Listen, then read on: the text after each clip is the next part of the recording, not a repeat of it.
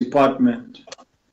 Also, let me uh, welcome the Ingonyama Trust Board officials that are here with us, particularly the chair, Ubau Judge Ngwenya, and uh, their Royal Highnesses, Ondabezitha, uh, that form part of Ingonyama Trust Board. Welcome uh, to uh, this uh, afternoon session. Uh, Honorable Minister, uh, we had uh, invited the department to join us on this session of the portfolio committee so that we can be able to ascertain uh, what the performance of programs with a focus on the achievement on set targets, challenges, and mechanisms put in place to address the weaknesses and challenges. We also requested to further highlight how the program performance in the quarters under consideration impacted delivery on service to beneficiaries uh, or clients of different programs of the Department of uh, Agriculture, Land Reform and Rural Development. Uh, a detailed account of the expenditure trends and outcomes with reasons for over or under expenditure and impact on the planned interventions and services delivery. The service delivery performance and detailed financial reports of uh, ALA, that being agriculture land holding account, and how expenditure outcomes have impacted on the acquisition and redistribution of land, as well as the status report regarding the implementation of the Auditor General of South Africa's recommendations, i.e., the improvement plan. Last but not least, the responses and progress report on the implementation of the 2019 budget review recommendations report. I will therefore, Honorable Minister, invite you uh, to uh, give us an opening address and then hand over to the officials that will be doing the presentation. I must say, with this uh, put to the Honorable Minister, I've already had an indication from Honorable Steyn that uh, the presentation has not completely or entirely addressed the issues raised by the committee on this invitation. But I would like to give the minister the benefit of the doubt in the sense that uh, she is going to give an opening address and she may be able to touch on the issues that we have raised. Therefore, I want to uh, request uh, the minister to uh, then uh, uh, go on with the opening address and then also hand over to the uh, department. We will then, having had both the presentation of the minister and the department, be able to ascertain if all the issues we raised have been covered. Honorable Minister, over to you.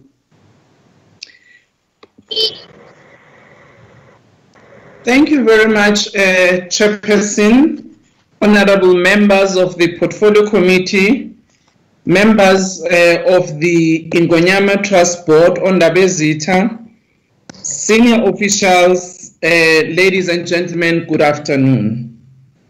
Once again, Chairperson, I would like to thank the Portfolio Committee for allowing us to come and make a presentation to you as part of our accountability as expected by our citizens. Chairperson, though we are now the new configured Department of Agriculture, Land Reform and Rural Development, we still have to account to you for quarter three and quarter four as the old DRDLR and old DAFF. And that takes into consideration that we are actually continuing to account to you based on the annual performance and the budget that was expended to us as these two departments. Today, therefore, Chairperson, we will be dealing with the performance of quarter three, quarter four of DRDLR and Ingonyama Trust Board. In the last meeting, Chairperson and honorable members, after you reflected on our budget presentation, you, after your own reflection and observation, made particular uh, decisions and recommendations on what you thought were important matters. That in particular related to Ingonyama Trust. You actually raised your concerns about the number of uh, staff that are on precautionary leave, the vacancy rate. You also raised concern about the inability to indicate how the Ingonyama Trust uh, Board in its functioning support the empowerment of youth and women. You also indicated your displeasure at the fact that the Ingonyama uh, Trust Board did not put their budget uh, in time as is expected by our parliamentary rules. These were very important and very serious matters, uh, Chairperson and honorable members. I must therefore report to you that immediately what I did was actually to convene an urgent meeting with the Ingonyama Board, and that meeting took place yesterday to address the issues of concerns that, as the portfolio committee, you have raised, but also to deal with issues which emanate from the Act in terms of the mandate of the board and our responsibility. We agreed, uh, Chairperson, that some of these matters might not be dealt with in our meeting yesterday, and we agreed that we will deal with those before the end of June. Chairperson, the Ingonyama Trust Board, when we met yesterday, had already sent to us their revised budget. They then explained to us what caused the delay that made all of us uh, to find ourselves coming to you without the budget as it was expected. They indicated to us that actually the precautionary leave of the senior officials in part emanates from this very reason and many others. The board has actually instituted an investigation on a broad range of issues that relates to the conduct and behavior of these officials and as soon as that report, which they think is close to completion, is done, they will then indicate to us as the minister and I'm sure to the committee on what were the findings of that report and what remedial action are being put. We are therefore uh, dealing with the budget together with the board now. They've also looked at what is allowed in their regulation that out of the resources that the board receive as uh, income for communities, 10% of that can go towards support the administration of the board. They also indicated that the increased uh, nature of the budget owes to the work that the board has to do working with the traditional councils to actually support their work. Some of that relates to issues of servitudes, of um, your network industries in particular, where the board working with the traditional councils must make necessary approvals and uh, decisions and leases thereof which would allow for those uh, servitudes.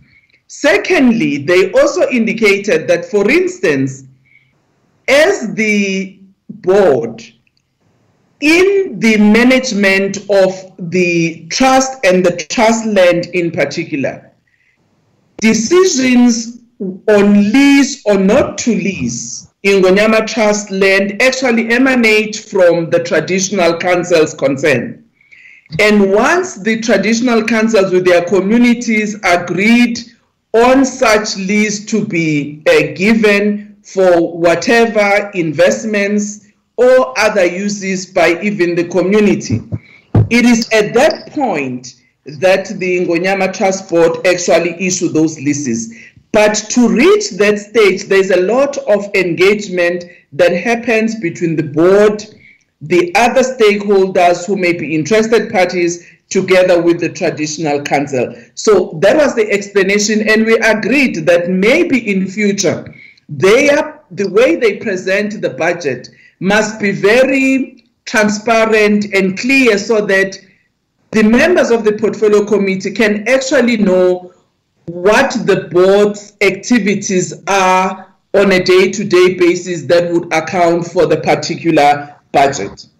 Also, they indicated uh, to us, uh, Chairperson, that the inability to perform some of the expected uh, programs as it was highlighted by the portfolio committees relate to the budgetary issues, but at the same time, it is about this delineation of the responsibilities between the board, what the board must do in its management, and what the traditional councils must do as the beneficiaries of the resources that accrue from the leases and the use of their land.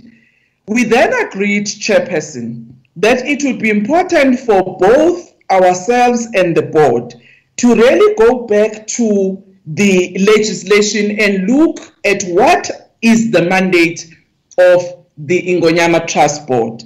Just to mention two things, Chairperson, which we agreed we need to deliberate on. One, in the Act, the Ingonyama Trust uh, Act, uh, as amended in 1997, actually states that the responsibility of the ITB is to administer the trust and the trust land and also deal with issues of lease, pledges, disposal uh, of the Ingonyama trust land thereof. The other issue that emanates from that legislation says despite this responsibility of the board and the land in question, Nothing stops national government to actually exercise its responsibility in respect to land reform, particularly, and it says after consultation with Ingonyama. So what we agreed is that we need to have a broad discussion so that we are at one about what the interpretation of this act is and our responsibility thereof and how do we develop policies so that there is guidance on how the administration, the management of the trust land in particular is done so that there's transparency, not only to the board, but also to the stakeholders such as yourself as the portfolio committee was supposed to oversee our work. So we agreed, Chairperson, that we will meet before the end of June as the board and department to really go through these issues. And also, while we do appreciate that this may be the purview of the traditional council, but it will be good for all of us to know how the traditional council, when they receive the resources on the leases of their land, for instance, how do they work um, and how do they empower their communities? The other matter they briefed us on was the litigation matter between the Tendele coal uh, mining company and the community of, um, I'll say, I think it's KwaMsane, if I'm right. And they did indicate that that was in relation to the phase two of the mining, which no approval or lease has yet been given, The contestation of the mine is that the community, particularly 24 households concerned, are actually demanding more compensation than, in their view, is fair and just. So that matter is still in the courts. We were so briefed by the trust. Chairperson, I want to say that in respect of the presentation by the department three and quarter four, there are indeed areas where spending did not go according to what we had all hoped we would. Part of that owes to the concurrence that needed to happen between ourselves and the Ministry of Finance. And that relates specifically to the matter of the stimulus uh, package. You would know, Chairperson, that the Department of DRDLR had actually indicated to this committee that as part of their contribution to the stimulus uh, package that was um, put in place by, or rather announced by President in 2018, there are about 262 farms that they said if they were revitalized by the state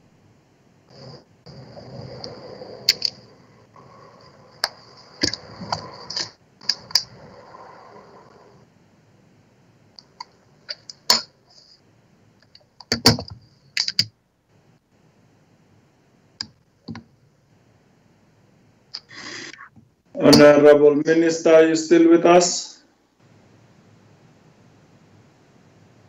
Honorable Minister's screen seems to have frozen.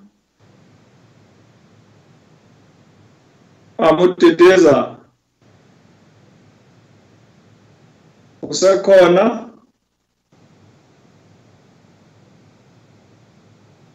She's she's still on the line, Chair, but uh, she seems to have frozen. Yeah, I can see she's still on the line, but uh, there might be a network problem Mm. on her part.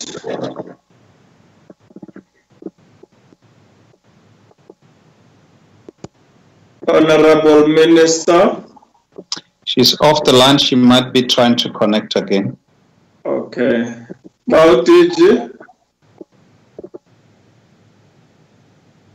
Bautiji. Awushabani ukhona? Good afternoon, Chair. The Minister has There. rejoined. I think the system had kicked me out. Okay, now we do have these technical glitches, uh, Honorable Minister. Don't worry about it.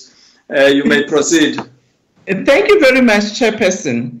I just want to indicate that in respect of that stimulus package, there was work that was already uh, done in terms of contracting certain commodity organization to actually assist us to support those uh, farmers. However, we were then approached by Treasury to say the way in which we have undertaken our procurement processes will actually result in the audit uh, query, and therefore we needed to change. So we worked with the Treasury to actually address those changes. And in October 30, we actually wrote a letter to seek concurrence with the Minister of Finance to be able to follow the process that was so agreed between us and Treasury. And I must say, Chairperson, that that process of approval from Treasury took longer. We received the letter of concurrence from the Minister of Finance on the 30th of December. At the time, actually, it was the 18th of December. And at the time, we could not continue with the procurement as it was expected. So I wanted to raise those uh, upfront, Chairperson, just as a highlight of some of the difficulties that you will note uh, in our presentation that would account why some of the issues that we had tabled in terms of our annual performance and the targets for quarter three and four were not achieved. Thank you very much, um, Chairperson, for those opening remarks on my side. I will now hand over to the uh, Director General. Thank you, uh, Honorable uh, Minister, uh, for that uh, opening address. Uh, we'll then uh, listen to the DG. Baushaban. Chairperson, honorable members, minister, and colleagues, thank you very much. Yes, Chairperson, we have prepared presentations as you have outlined, Um but I wish to upfront, Chairperson, uh, declare that uh, it is correct that uh, the BRRR report is not part of the package uh, that has been circulated. There has been some technical uh, difficulties that are internal that we are trying to resolve uh, as we grapple to bring together all of this information. But uh, we should be submitting to the committee my sincere apologies that that report uh, is not part of our presentations today. But we do have the presentations for quarter three and quarter four and the financial performance uh, uh, uh, uh, presentation. Mr. Ndani Sadiki will lead us on the two quarterly reports, and Ms. Violet Machiza is going to present the financial performance report. Thank you so much, Chair. Thank you. Uh, Thank you and good afternoon to Chairperson and members of the Portfolio Committee, my Minister and the DG and colleagues. Afternoon. I'll be presenting the third and fourth quarter report. However, due to time limitation, I would ask for permission to present using the fourth quarter report because it has both quarter three and quarter four if the chairperson so permits. No, please go ahead, uh, Ms. Adiki. Thank you. Uh, the controller, can you put it on a slide? Motion, please.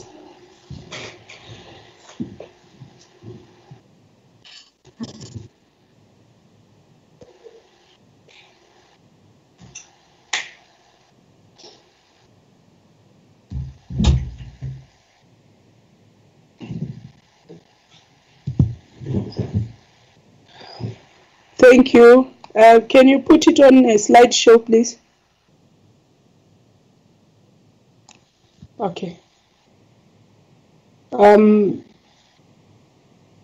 on the outline of the uh, presentation, we've got the performance scorecard, followed by the uh, program performance, uh, per program, and the performance barometer at the end. I will try to run with a number two so that we are able to reach the barometer at the end. Um, you can pass, I think uh, here the performance is between 0 and 99%. We regard it as non-performance. So anything that is below 100% is non-performance. It means the target has not been achieved and anything at 100% we have achieved. Uh, on the performance scorecard, which is the summary, the department performed at 30%. You will see even the third quarter we were sitting at 30%. And that is mostly due to the fact that anything that is less than 90, 100% is uh, the non-achievement of targets. You will see that uh, we've got zero performance at administration, which is the 30 days payments of invoices within 30 days and followed by the rural development at 0% and land reform at 25%. 30% is the overall, with restitution having achieved 100% on quarter four and 50% on quarter three. Uh, I think you will see where there are zeros, you will see that at some we are sitting at 95%, but because it's not 100%, it's, it's put as though it's zero. Um, overall, we, we had 23 targets. We have achieved 16 of those. Um, this is just the overall performance from quarter one to quarter um, four. We'll see we started at uh, 55% and mostly is the rollover of the projects that could not be finalized at, as at end of 31 March that tend to spill to the first quarter, and first quarter seems to have overperformed to the performance of the department throughout uh, the second, third, and fourth quarter. Uh, next. This is again just an indication of how we have fared throughout uh, the year. Uh, you can see that we have plateaued uh, in quarter four, meaning that we have remained in difference. There was not much movement between quarter uh, three and four. We, Yeah, who's that? Mr. Dickey, please proceed. Okay, thank you. Um, we have achieved half of our targets on the third quarter in a row, but uh, the negative impact uh, will be fed throughout the annual targets. And next. This is just the trend analysis uh, in uh, graphic format for the fourth, uh, the, the four quarters, and you can see that uh, program five has regressed uh, whereas program 4 which is restitution has improved from 50% to uh, 100% you've got uh, we've got finance that only uh, tried to meet 50% uh, during the second quarter with third and fourth sitting at an overall performance of about 95% therefore zero and uh, program 2 which have tried to improve but could not reach the performance of uh, quarter 1 and quarter 2 uh, program 3 is same as program 1. You can see quarter 1 we performed, quarter 2 we regressed, and the third and fourth is sitting at 0. Next. This is uh, the past five years, the performance of the department in the past five years. And you can see that uh, for program 2 and 4 we have seen an improvement compared to prior years. 3 and 5 they have regressed while uh, program one has not improved at all. They have remained at 0% for the last three years. Next. And this is the summary per program. I will try and run as fast as I can because I want us to be able to get to the final uh, summary before the chair stops me. Uh, finance is sitting, which is the 30 uh, payments of invoices within 30 days achieved 95%, hence you are seeing zero. And the biggest problem there is the ALA, uh, the agricultural landholding account with invoices that are taking too long to be paid. They were sitting at 51%, followed by the restitution and uh, the Mpumalanga and the KZN, um, with national office sitting at 89%. However, we do have pockets of success like the SG office, deeds, uh, Free State and Limpopo that were sitting at 100%. Next. On program two, uh, we have seen the improvement, as I said during the summary, that uh, with the draft land use master plan that was achieved. Next. Uh, the development of a national spatial development framework, the implementation of the strategy, it has been achieved um, percentage of deeds made available within seven days, uh, we did not achieve. We're sitting at 91%, and there were quite a, number of issues that made us uh, to perform uh, so bad. There were lockdown issues that came uh, during March, and there was load shedding issues that uh, I think the last half of the year we had that uh, going on for some time and that had a, a negative impact. So we, in order to um, reverse the, the, negative performance over time, was scheduled to be worked, but unfortunately, then we closed before the final, uh, the the last few, uh, the last week of the year we, we had closed due to lockdown. Next. Uh, the deeds transformation policy approved, it was not achieved. Uh, the process was put on hold because of many other things which you will uh, be briefed on when we do the legislation. Next. Uh, number of maps uh, that were supposed to be produced is 56. Uh, we achieved 56. The target was 45. Next. Um, average number of working days taken to process registrable diagrams. We had said 14, we achieved 18 days. And uh, the biggest problem was the uh, the surveyors were high number of the surveyors submitted the unacceptable work that was submitted by surveyors had an impact, a negative impact. So we will be having ongoing engagement with the professional land surveyors to improve the quality of work submitted going forward, including the filling of the vacant posts because they have a negative impact of, on our ability to achieve the targets. Next.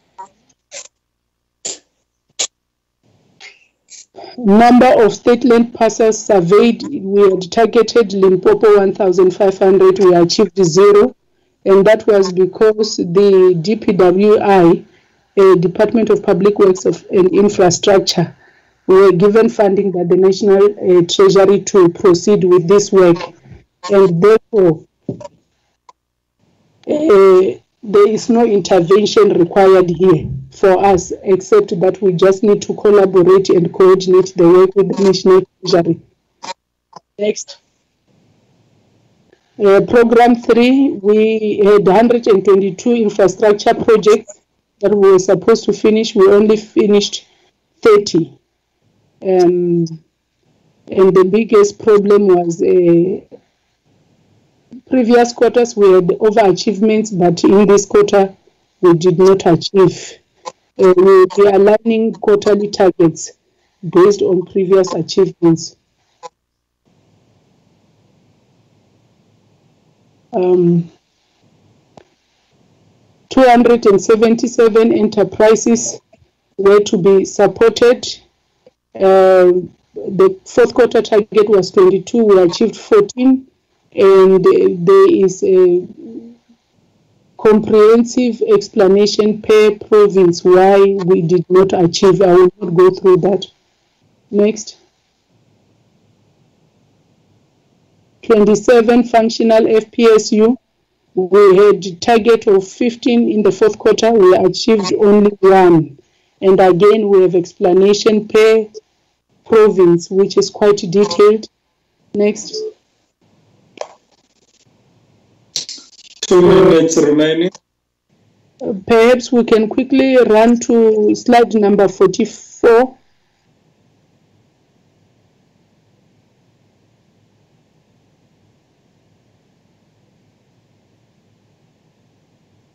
Yeah, on the performance barometer, uh, this is just a summary for all the quarters uh, that also compares to how we have fared compared to the annual target. So on the num, go back, one slide back, go forward, yes, uh, you have jumped again. It must start with the invoices, yes. On the invoices, the target was 100%, we have achieved 95%. Unqualified audit report, it was met, we got an unqualified audit report. Land use master plan, uh, the draft is there, it was achieved. National Development Framework Strategy developed, it was achieved. Next page. Uh, on the percentage of deeds made available within seven days, we achieved 95%. I've explained the reasons. The deeds transformation policy uh, approved, it was 100% missed. Uh, number of maps um, of national map series produced, we had uh, uh, targeted 200, we have overachieved at 222. Number of working days to process registrable diagrams, uh, they were supposed to be 14, we missed by one day, we're sitting at 15. Number of state land parcels surveyed, 1,500 is the ones that have been moved to, to the Department of Public Works and Infrastructure. Next page.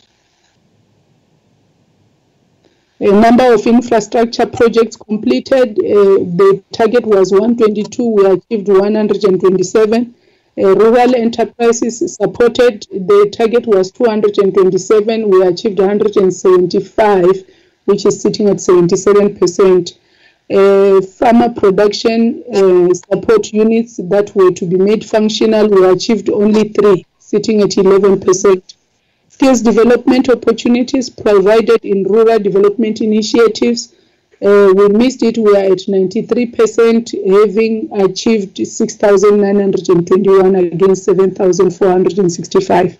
Number of job opportunities created in rural development, we are at 92%, sitting at 5,438 versus 5,909 target. And the number of land claims finalized, uh, we missed it again, we are at 94%. Um, compared to 637, we achieved 603. Number of land claims settled, we've got 435, which is an overachievement compared to a target of 428.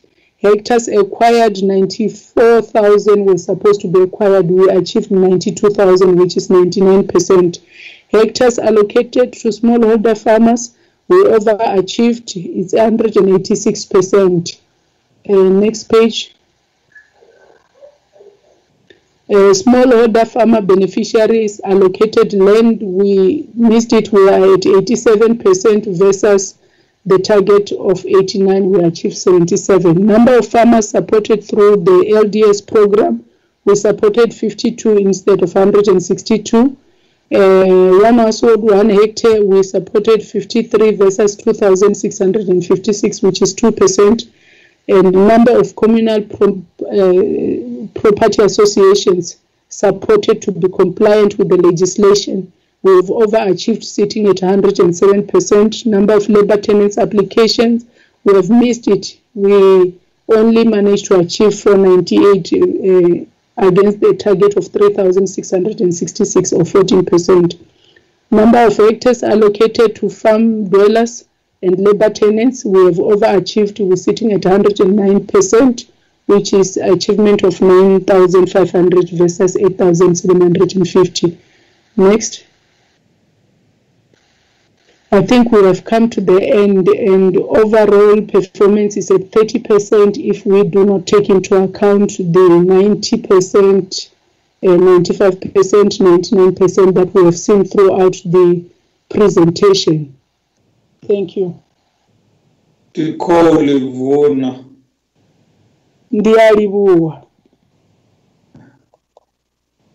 Uh, DG Chair, perhaps uh, I don't know if the chair would like us to present the financial performance information and then Yes, please uh, uh, go through that so we may uh, have honorable members go into the two presentations. Uh, Honour Chair. Hello, Yes. Mr. Mandela. Yes. Honorable Modi. Hello. Honorable Modi. Can I continue, Chair? Yes, what is it? Eh, can, when we receive the next presentation, can the person moving the slide be on par with the presenter? Because it was difficult to follow on the previous presentation. Okay, noted.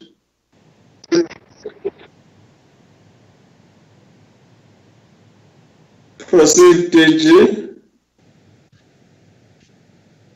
Thank you very much, uh, Chairperson. Uh, Ms. uh, Violet Machiza is going to present the financial performance. Yes, if we can be brief on that, just straight to the point, so we can uh, enable honorable members enough time for questions. Good afternoon, Chairperson, members of Portfolio Committee, Minister and DG. Uh, for the sake of time, I'm going to request that uh, we must start at the slide number four, where it's written programs stroke branches, so that I can take slide number four, where it's written programs and branches. The next slide. Thank you. Yes, thank you. Um, In terms of the allocation that we had, uh, Chairperson, we were having 10.8 billion. During quarter three, expenditure was sitting at 68.6%, while in terms of administration, which is program one, we were uh, sitting at 63.8%. We spent 1.1 billion. In terms of program two, we spent 489 from the budget allocation of 703. Program three, we have spent 1 billion uh, from 1.7 billion. Restitution, we have spent 2.7 billion from the allocation of 3.5 billion. And overall, we're sitting at 68.6%. I'm going to request that we move to the slide written economic classification, which is slide number six. The next slide. We are on slide number six. Chair, Continue, uh, Violet. on my uh, screen, I'm on slide- Let me chair the meeting, thank you. Thank you, Chairperson. With this slide, it shows us the allocation and expenditure per economic classification. We have spent 1.8 billion from the allocation of 2.4 billion on compensation of employees, which was 75.1%, while goods and services was spent 1.3 billion, which is 56.4%. Pro, uh, transfer and subsidies were spent 3.7 from the allocation of 5.2 billion, which is 70%. If you look in terms of the payment of capital assets, we've spent 474 uh, million from the allocation of 628. When we look in terms of goods and service, we the uh, the uh, the underspending there it was due to the allocation that is sitting within program three, which is REID and REID, because the allocation where we support our beneficiaries is sitting there. And again, in terms of the payment on capital assets, the underspending was due to the triple P because we're waiting for the minister's concurrence. When the minister was um, giving giving brief in terms of what we were waiting for the concurrence from Treasury. It was relating to Triple P and the implementation of the uh, LDS project. So can we move to slide number eight, which is written priority projects? Thank you. In terms of this slide, it shows us the allocation for the projects that we have to implement within the department, excluding compensation of employees. In terms of REID, uh, we have spent 417 million. This is the branch where we have to implement our construction projects. Rural Rural Enterprise and Industrial Development, we spend 177 million uh, from the allocation of 366, while in terms of NARYSEC, 193 uh, from the allocation of 340. You can see that in terms of restitution, we were sitting at 73.2%, while the, the allocation is excluding COE. And then we can move. Uh, the next slide, Chairperson, for the sake of time, is just showing the detailed um, household um, allocation per provincial office. I'm going to request that we skip slide number nine because I already spoken to uh, at the summary level. I will go to quarter four performance. And then from quarter four, let's go to slide uh, written programs and branches, which is slide number four in terms of quarter four.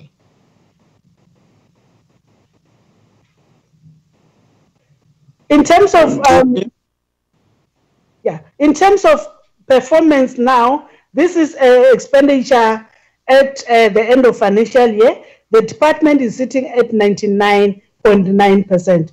While in terms of administration, we're sitting at 99.8%, program two, 100%, program three, which is rural development, 99.7%. The other core branches have spent 100%. If I can talk to program one, program one, where you can see office accommodation and corporate service. Office accommodation, that's where we spend our allocation for our office accommodation for the whole country for all provinces. And we've got allocation there for the triple P. So allocation for the triple P we're not able to spend in terms of the construction allocation that was sitting there. Corporate service is where that's where we pay our software licenses. We're not able to pay the software licenses that uh, commitment happened in March. We have to pay them in April after service has been rendered. So if you look in terms of program three, rural development, REID and, and NARYSEC, especially coming to REID, that's where our underspending um, was because this is where we have to implement a construction work.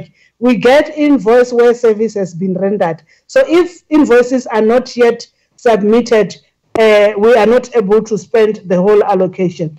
So in terms of the performance, if you can see in terms of uh, land reform, we have increased uh, allocation for ALA for for for for 277 million uh, during end of March for us to be able to fund uh, expenditure relating to COVID and 100 million that was transferred to Land Bank, but at the end we went back and request the 100 million to be returned to the department and it was paid back to the department.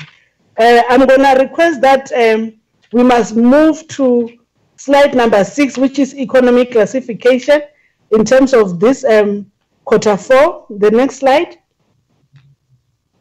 Can you conclude? You've got three minutes. Okay, let me go to the allocation, the slide for ALA, uh, which is going to be closer to the next um, next slide. So next slide, let's go to quarter four because quarter three also is going to be included there. Quarter four. Thank you. In terms of ALA, let's move to the where we've got allocation so that members can see how much was allocated in terms of this this years. Thank you very much. Um, uh, the slide before, yes, thank you. Uh, in terms of allocation for ALA, we were sitting at 2.7 billion. Here, that's where we have to procure land and have to pay for land development support program and finalizing the recap commitment and also other operational that must happen within the, the, the, the, the, the, the, the entity. End of financial year, we were sitting at 49%, and then we had commitment of 1.1 billion and accruals for for end of financial year. In terms of allocation for ALA, because it's an entity, the, where we've got commitment, we have to submit request from Treasury to get retirement of the allocation of the, the previous financial year. When Treasury approves, we are able to get the funding to pay the commitment. In terms of the department, in terms of accruals, yesterday, uh, accruals we were having 20, 20 million for the current DRDLR, and then those commitments are relating to a, a service that were rendered during um, February, March, where suppliers uh, were not yet submitted the invoices, but we are able to pay them during current financial year. Now they are going to be paid from the new department, uh, Jalad. Thank you very much, Chairperson. Thank you. DG.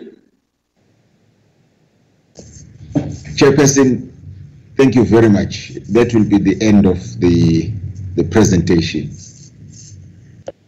Thank you, uh, DG. Honorable members, uh, there's uh, the presentation um, that has been put before you. We will have 20 minutes of uh, questions and uh, uh, questions of clarity. Then we will give 20 minutes to the department to respond to the issues raised by honorable members. And we start with Honorable Tlhape.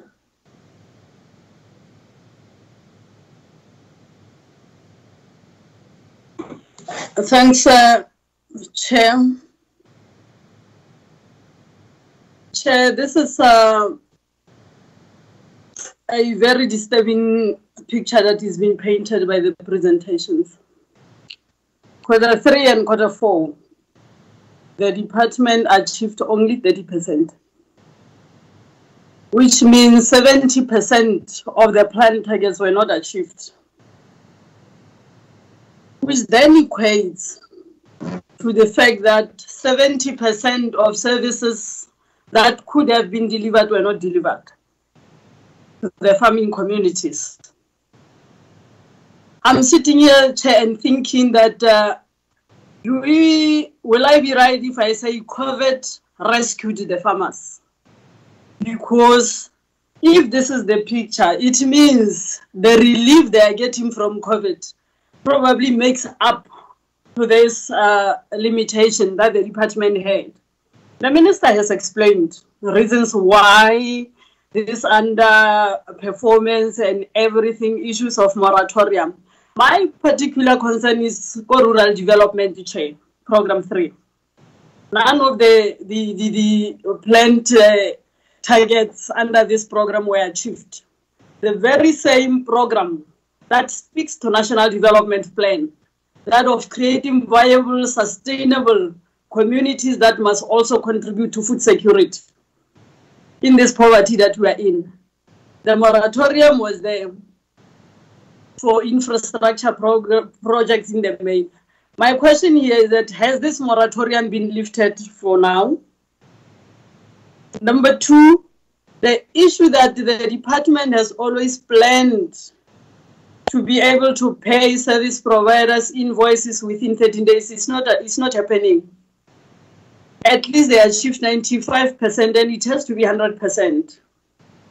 What plans are there in place when we go to the next five years, the next strategic uh, goals that they have placed, uh, everything that they've put in place, not to put the small businesses that are doing uh, business with this department at stake. What is it that they are doing in this regard? But I'm saying uh, it is a very disturbing situation. The horses have bolted. It's end of quarter four and we have to move forward now in, in a reconfigured department. My prayer is that, Minister, like we have indicated, you've got your ducks in the row to make sure that this picture does not uh, repeat itself. It cannot be correct that 30% in both quarters. I mean, when we look at quarter two, the only time they performed was quarter one, 55%.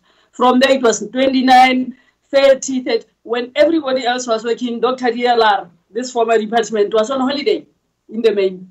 Thanks, Chair. Thank you, Honorable Mahlatsi. Hey, thanks, Chair. I, I, I would follow suit from what Honorable Tlhape has indicated. This is a very, very disturbing picture in as far as the department is concerned. And I must reiterate this particular position that we have said in the last quarter review when we indicated that um, the performance of that 29%, we were told that it will be recovered in quarter three and quarter four. In quarter three and quarter four, the worst happened. That means uh, even things that we were supposed to have recovered then, there was no way that we would have recovered. Uh, Chair, my questions will be on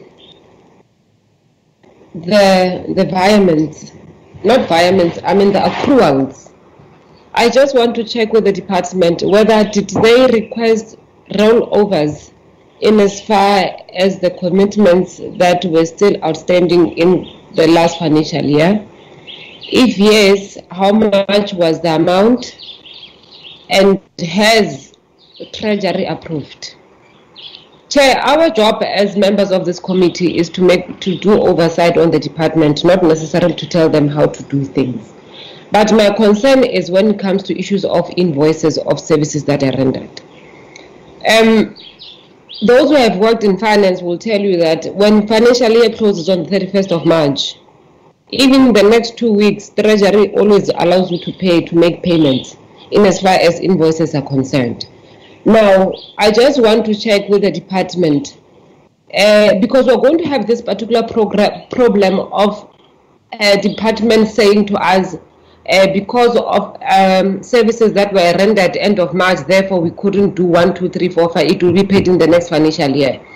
couldn't they have made arrangements with service providers to make sure that those invoices are paid on time? And lastly, Chair, what has been okay on the accruals? I'm done. The the money that has not been spent had it all been sent back to to treasury, of course, but had the does it mean that everything that was not spent it has gone to COVID-19, therefore they will not necessarily have AMA rollovers. Thanks, Chair. Honorable Steyn.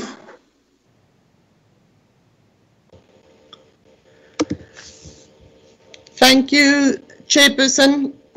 Chair, yes, uh, there's nothing more that I can add regarding the uh, um, disappointment that I'm feeling in this department, Chairperson. Um, I, I, I want to firstly start by asking the DG or the Minister or anyone if they feel proud um, of the work that this department has achieved um, in the last quarters of the, the previous financial year, Chairperson. And I want to also find out the 1.3 billion rand uh, that was spent under the agricultural uh, disaster COVID fund. Exactly where did it come from? Um, if I read some of these documents, it looks to me like it was uh, money that was uh, then put under the ALA account or somewhere in there. Uh, because on slide two of the presentation, they speak about uh, transfers and subsidies into that account uh, and also towards land bank. So I think, Chairperson, we need to get a full picture of the funds that were not spent, the rollovers, the, the, the money that was um, not uh, given to certain projects. Um, I, I, don't think, Chairperson, it's, it's fair um, to now say that certain things were not happening during the last third and fourth quarters of last year. Um, I, I'll tell you honestly, Chair, I feel like that money was just dumped somewhere. It was spent under a disaster fund, and we, we don't have oversight over that, Chairperson. And the letter that I sent you, unfortunately, I haven't received it yet, was to request that we get full details of that 1.3 billion rand spent and not like we were promised last time with agri-parks that we will get full details of agri-park funding and then we never get it, Chair. I am really at the point of taking this department to uh, um, SCOPA to get full details of the financial of, of, of what's going on here because we are getting very, very um, flimsy reports. So, Chairperson, I would request that we get all of that information that we, we asked uh, all the time. I'm also disappointed, Chair, that we constantly get um, calls from desperate farmers out there trying to finalize land reform projects, trying to do things on the land, but they can't even get hold of the officials. Never mind getting responses from them. And that doesn't need, need money. Chairperson, we have been working full steam during this COVID period from homes, from a phone, from a laptop.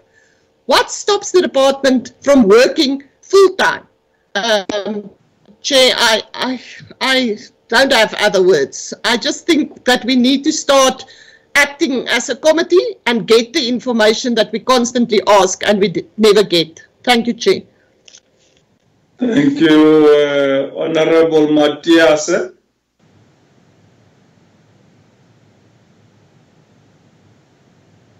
Ntate Matthias. Uh, Chairperson. Hello, Chairperson. Yes, go ahead, Ntate Matthias. Uh, look, it was uh, Tung Chair who says that not everything that shines is gold. Not everything that shines is diamond.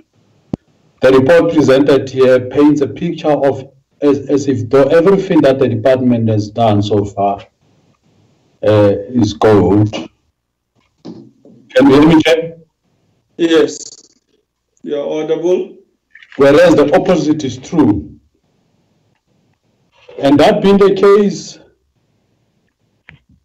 I agree with uh, fellow colleagues and members that uh,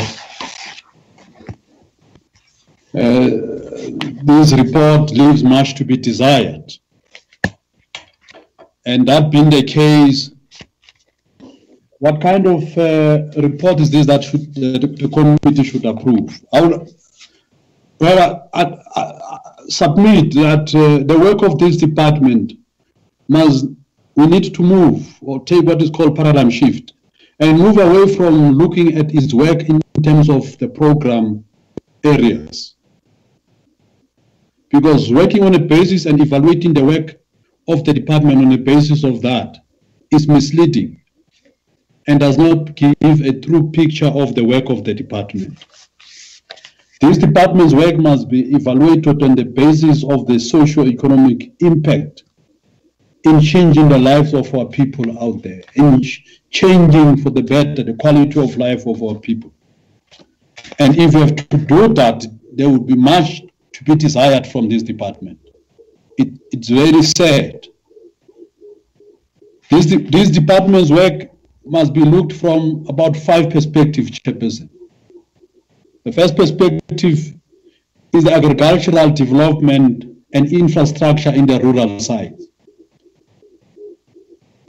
What amount of work and the quality of such work can be shown, can be presented before us as having impacted on the agricultural development and impacting on, on the rural infrastructure. That's the first point. The second perspective is the economic growth of the rural sides, the countryside. Is there any growth if we have to go to the eastern, rural Eastern Cape, in the eastern Pondoland? Is there any any quality work that you can point that the department has done in improving the economic growth of our people there?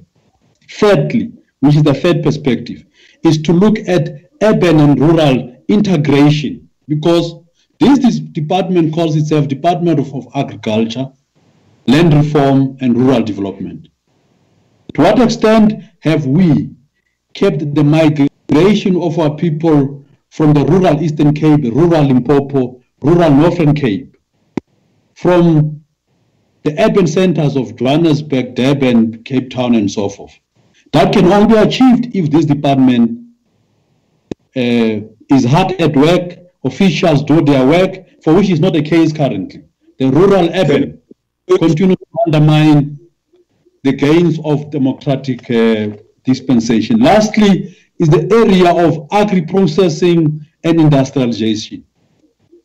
It's said that this department did not point anything towards that direction, Honorable Chair, with due respect, and I really want to beg your indulgence. That is only if we speak that officials will start to take their work serious. We don't have to be to tip-top around poor performance by officials, which is disappointing and reflects on us as public representatives. Can we please be hard on these officials so that they start to take their work serious and take us serious?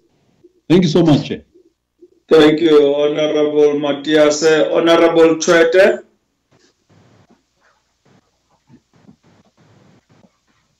Mamo Chwete.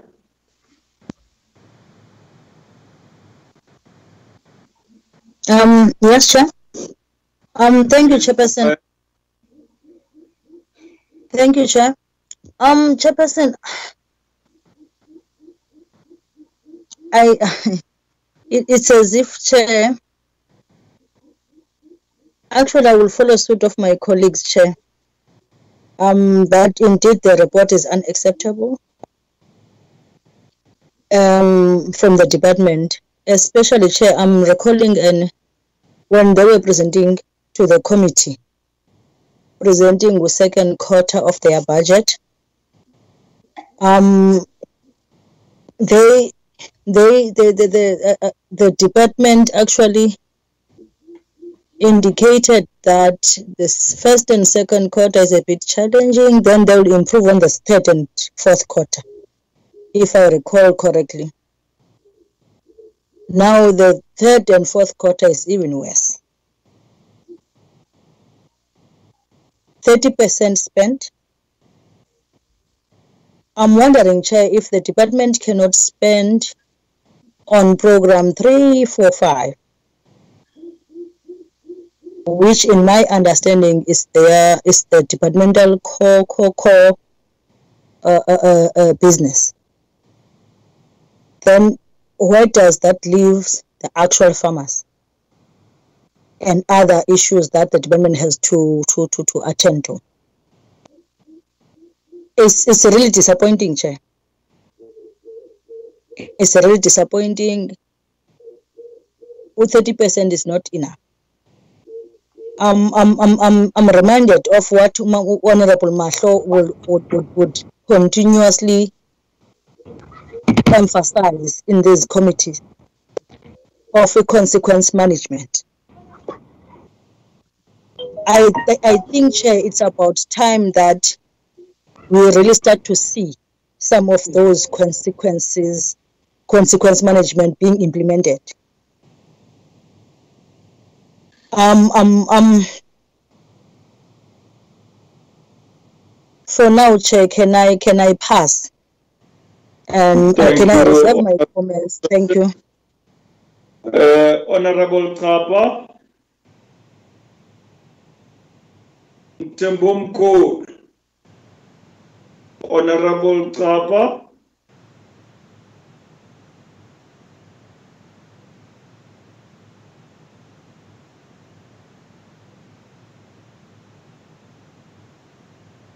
Honorable Kapa. Okay, Honorable uh. Thank you, Chairperson.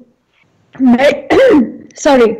Maybe just to add to what my colleagues have said, I am really worried about the underspending of the department. Um, I also recall that that we were promised that the third and the fourth quarter will look better. And I'm hoping that the third and the fourth quarter look the way they do um, because of the merging of departments and, um, and, and all of that. I really do. But Chairperson, I would like to see as well, um, what are we doing with that funding and is the underspending the reason that we are performing so poorly in terms of our programs and in terms of our outputs? um, that is that is really frustrating and, and worrying to me. And specifically, the way uh, the department is is answering the questions. Um, to add to some of my colleagues um, in Afrikaans, we have a very nice word, word that says "ontwykend." Um, and and I really do feel that the department, to a large extent, is is being um, is is misleading us, or not necessarily misleading us, but they are giving us all kinds of other information, even though they know what we want. And but I would just like to focus my questions on um, FPSU's chairperson. Um, the target was 27 FPSUs, I think, if I remember correctly, for the third quarter, and then 15 for, or the annual target was 27 and the presenter spoke to only three that are actu- that are actually active. Um, I would like to know where are they um, the three that are active in terms of the, the 27. Um, if memory serves correctly, we have received the list of the 27 that we are focusing on. But what um, can the department brief us on why only those three are active and successful? Why are they only working? What was done extra in terms of those three to get them active and working? And then how do we measure and monitor the success um, of these FPSUs? Because my, my worry is, Chairperson, we've been speaking a lot about agri-parks and we've been speaking a lot about FPSUs and, and we're continually backtracking. This is our plan at, oh no, it's unrealistic. We're not going to get to this. And my, my problem is we've seen, you know, our rural communities suffering, our rural agriculture suffering specifically um, in terms of a lot of things, not having market access, not having the proper support. And I do feel that that the department is lagging in terms of FPSUs and that if they, they prioritize that, we would actually see assistance um, going to our, our, our, rural communities. So I would like the department to, to just give us give us those details. And I think my colleagues have, have covered to a large, large extent my dissatisfaction with the department as well. Thank you, Chairperson. Thank you, Mayor Brett. Ndabezitha Kosenkulu, Honorable Kabwe Kulu.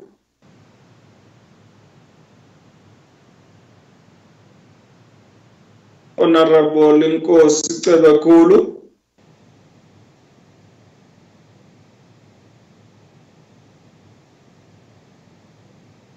Honorable Mahlo.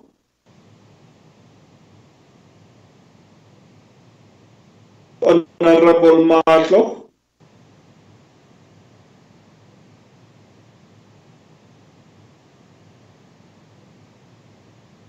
Honorable Montwedi.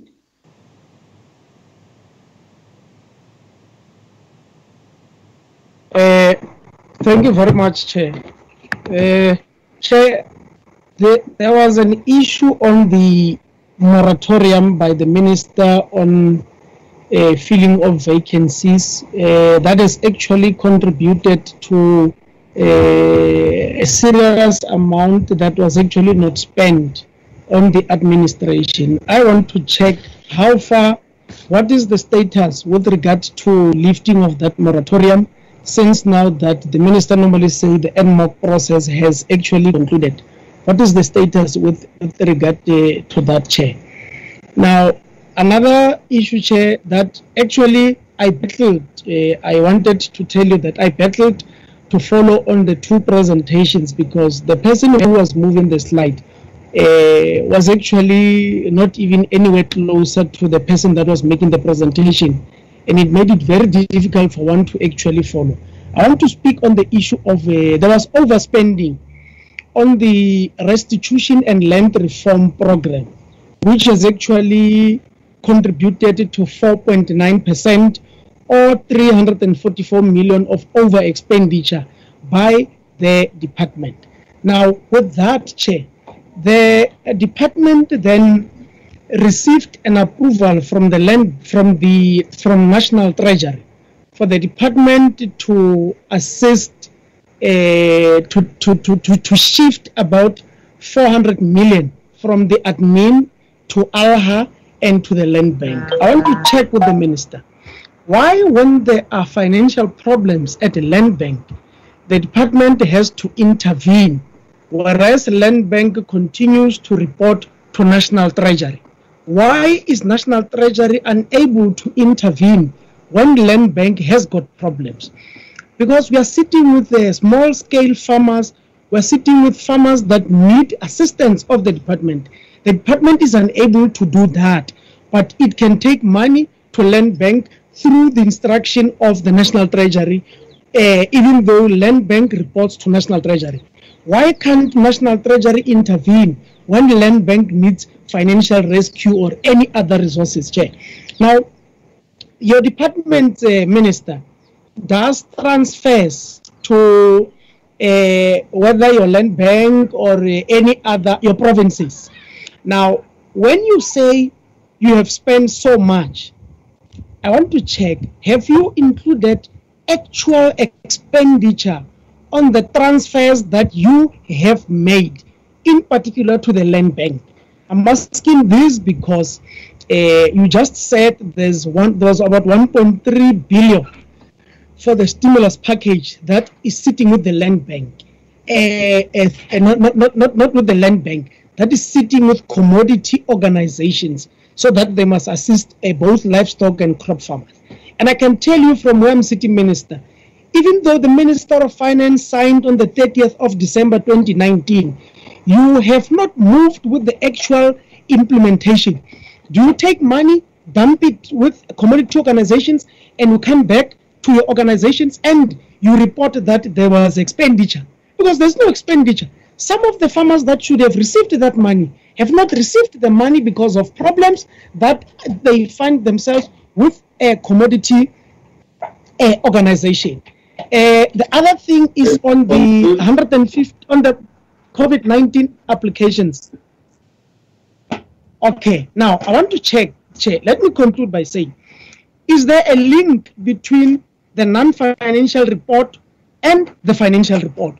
I don't see a link because the non-financial report for quarter three and quarter three, quarter three and four says that the performance was about 30%. And yet on the financial report, you have overspent with an amount of 344 million or 4.9%. I just want to say, is there a link between those two presentations that you've just did? Thank you, Chair. Thank you, honorable members. Um, let me also share the same sentiments with uh, the rest of uh, my colleagues, uh, honorable uh, minister. But I would want to talk directly to the presentation that has been put uh, to us in terms of uh, the number of rural enterprises that have been uh, um, supported. You've only managed to underscore 71%. What has been the reason that uh, you have not been able to uh, give full support to 100% of these rural enterprises? Because the department's core mandate is to uplift rural communities. So, uh, what has led uh, to the department not being able to uh, fulfill that? But also, if you look at the number of farmer production support units, you are sitting at 4%, uh, of which, uh, uh, in terms of ensuring we are able to meet uh, food security uh, for our people, how are we then not able to ensure that these FPSUs are fully functional and are supported and are realized? And you are sitting at a mere 4%.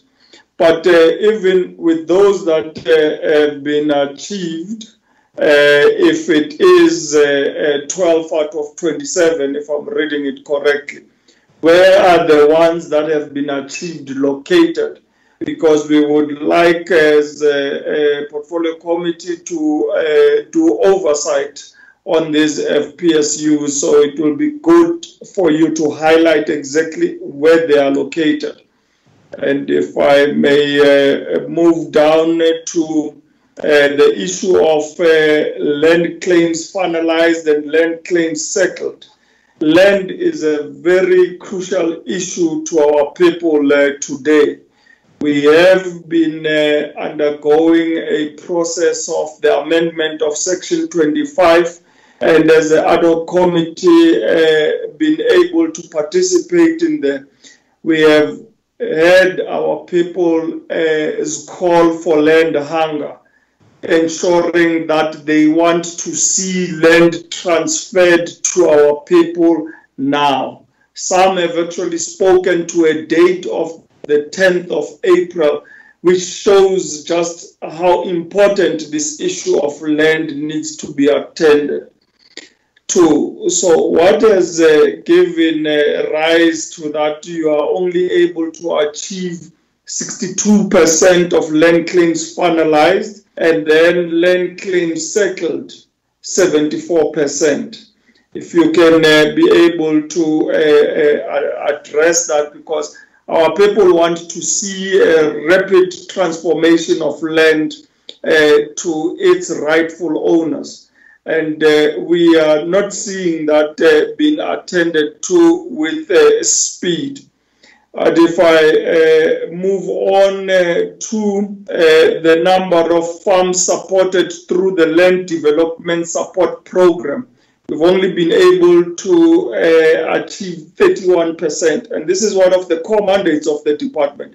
What are the reasons that have given a, rise to that and uh, led to such uh, poor uh, achievements.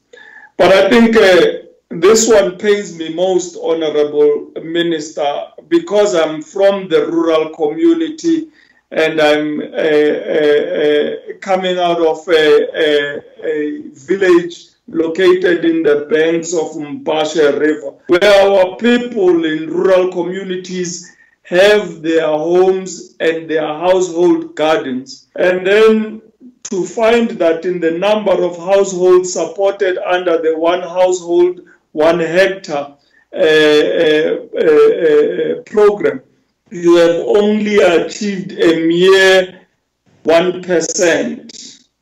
That is a shocking uh, uh, number to even say.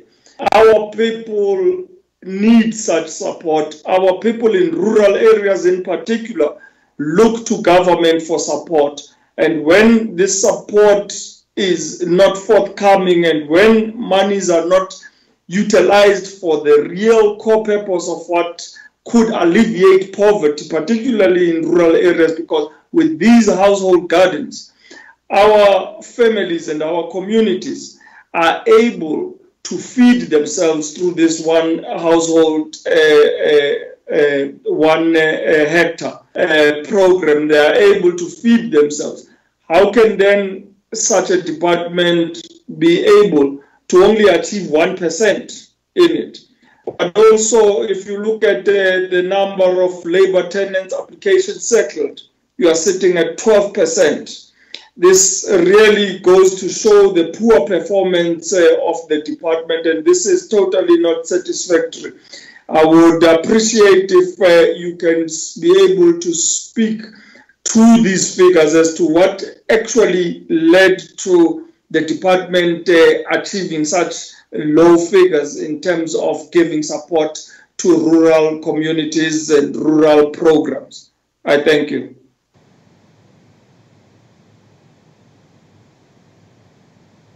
Honorable Minister, Honorable DG. I would ask the team uh, to start first, Chairperson, and then I will end. Okay, Honorable Minister. Officials of the department. Chairperson, thank you. Um, 20 minutes. Chairperson, let me start at the end. There are specific answers that the chairperson requires uh, in response to very specific questions. Let us offer to provide those answers in writing to the chairperson. The second one, chairperson, the second one, chairperson, is that uh, evidently the, the committee is, is unhappy with the performance uh, as reflected in report in terms of how performance rating uh, is done uh, in terms of the rating uh, model that uh, national government departments follow in terms of the standard set by the Department of Performance Monitoring. Uh, and it comes to, it brings to the question that uh, Honorable Ntwedi asked, what is the relationship between uh, the performance information and budget expenditure? Obviously, there is not going to be a relationship between performance versus budget expenditure. If your performance rating, if you achieve 99% of your targets, and uh, that counts for nothing. That counts for zero in terms of for performance measurement. 99% of your performance will cost you quite a lot of money to implement. But if you get measured that anything below 99% accounts for zero, there is not going to be a relationship. Hence, the department achieved 30% of the total targets. If the members looked uh, in some of the targets that were achieved, we got even up to 90%, uh, up to 95% of some of the targets. Some of the targets, we miss them by one. But because they are not 100%, they are accounted for in terms of the measurement rating as, as, as zero. So, so we are going to continuously have this challenge uh, because when we fall short of one or two of 10 percentage below 100%, the rating is going to rate us as zero. Let me hasten to say, Chairperson, there are areas where we could have done much more better And we are not going to try and explain ourselves. We can only commit to do much better in those areas where we have failed, like in the area of the FPSUs, uh, the, the numbers that are, are, are the number of FPSUs that are functional. Uh, we can only improve on the restitution process. We can only improve on the number of labor tenant claims that we settle. We can only improve in the program of rural development for rural enterprises because those are the issues that affect people in, in, in that are most needy of the services of the department. We can only plead for that. Then there are specific questions, Chairperson, that relate to the, the finances, and I'm going to ask uh, both uh, uh, uh, Rendani and CD Violet to, to, to deal with those. But I, I just want to deal with the last one, the issue of the 1.3 billion. Chairperson, uh, it has come up from Honorable Steyn, uh, Honorable uh, Mutwe- Mutweti, where exactly this has come from. With respect, Chairperson, we will respond to this question, although we have responded to it in writing when we were asked about it. uh, we have answered it uh, several times. The minister has responded to it. We will respond to it again. We did say that uh, the program of land development support, which was going to be funding the stimulus package, got delayed in terms of implementation until we received the approval, which meant that there was this surplus of 1.3 billion rand, which was then reprioritized with the request of National Treasury. Now, to Honorable Muntwedi, there are 146 farmers who are benefiting from, from 400 million rand of that 1.3 billion. 146 farmers. The, the extent of the land that is being supported there is 216,000 hectares in all nine provinces. We can also provide the breakdown in per province in terms of where that money is going. With regard to the land bank, we have not transferred uh, monies to the land bank to offset uh, the shortfalls at the land bank. The monies that we have transferred to the land bank, we have transferred them on the basis of agreements as both departments. But as we have said, where we had challenges with the land bank, the monies have reverted back to the department and we will continue to implement that. Uh, that that deals uh, in part with the with the with the with the 100 1.3 billion rand. Uh, Honorable Steyn, I'm I'm not quite too sure which is this information that Honorable Steyn has repeatedly requested, which we have not provided. Uh, I would really appreciate it if we can be provided again, perhaps for the last time, Honorable Steyn, so that we know exactly what is this information that has not been provided, so that we can do our utmost best to respond. Honorable, Honorable Briet, uh, the, the, the functional agri-parks, uh, FPSUs, I think about four meetings ago, we were asked this question. We provided that information, but we will provide it again. And we did say that one of the functional FPSUs is in the Free State. Uh, we, we can uh, provide that information. I will ask uh, DDG Rendani on the measures that we have put in place on the on the payment of uh, 100% uh, for uh, within 30 days of all invoices. Violet on the on the rollovers, if there were any rollovers. Thank you, Chairperson. Thank you. I see the hand uh, of uh, uh, Land Claims Commissioner, uh, Umam Gobodo. Uh, if you can also uh, note uh, DG. Proceed. Thank you, Chair. Thank you, Chair. Um, thank you, um, DG. Um, Chairperson, I would attempt to answer those that relate to finance. Uh, there was a question on the issue of Treasury allowing payments after year end for a few weeks. Um, that um, would apply where we're using the accrual basis. The department uses modified cash standards. So 31 March, anything that is not paid goes into accrual. There is no allowance to be able to pay after um, the year end. Uh, on whether we have asked for rollovers, the treasury regulations indicates which items you can ask for rollover on and those would be the capital expenditure for which the project is still running. So here we did not ask for rollover because most of the money that was left was for operational expenditure and therefore we couldn't ask.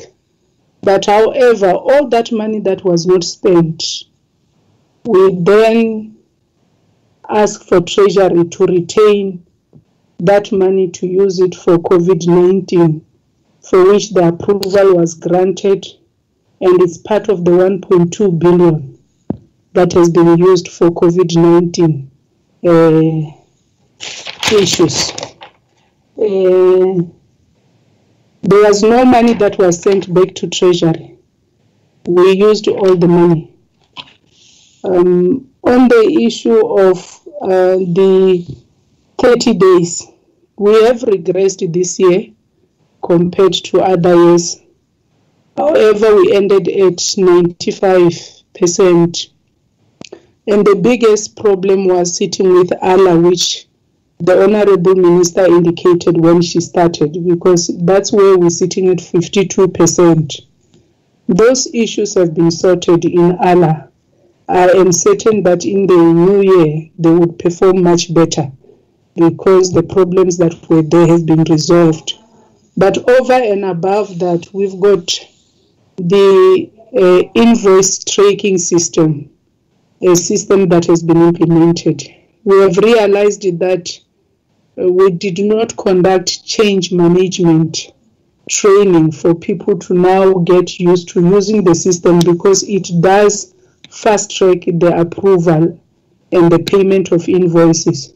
So we have instructed the team finance to ensure that every senior manager should go through that training of change management and to now change their mindset regarding using system to enhance uh, service delivery. We were hoping uh, it was supposed to start beginning of the financial year and because we were not working during the, uh, the beginning and we are still not allowed to gather, we have asked uh, the team to assist us if we can't be running this training over the systems to try and improve the way we, we do. I think those were the questions that the accounting officer did not uh, deal with. The rest of those that are uh, impacting on finance he had answered. Thanks.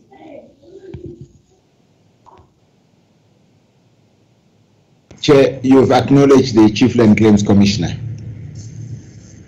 Yes. Mam Gobodo, please go ahead. Thank you, Honorable Chair, Honorable Members, Minister, DG and colleagues. I just wanted to respond to the query that you raised, Chair, around the performance of the Commission. Uh, I hope I'm audible. Yeah, can you repeat that? You were cutting.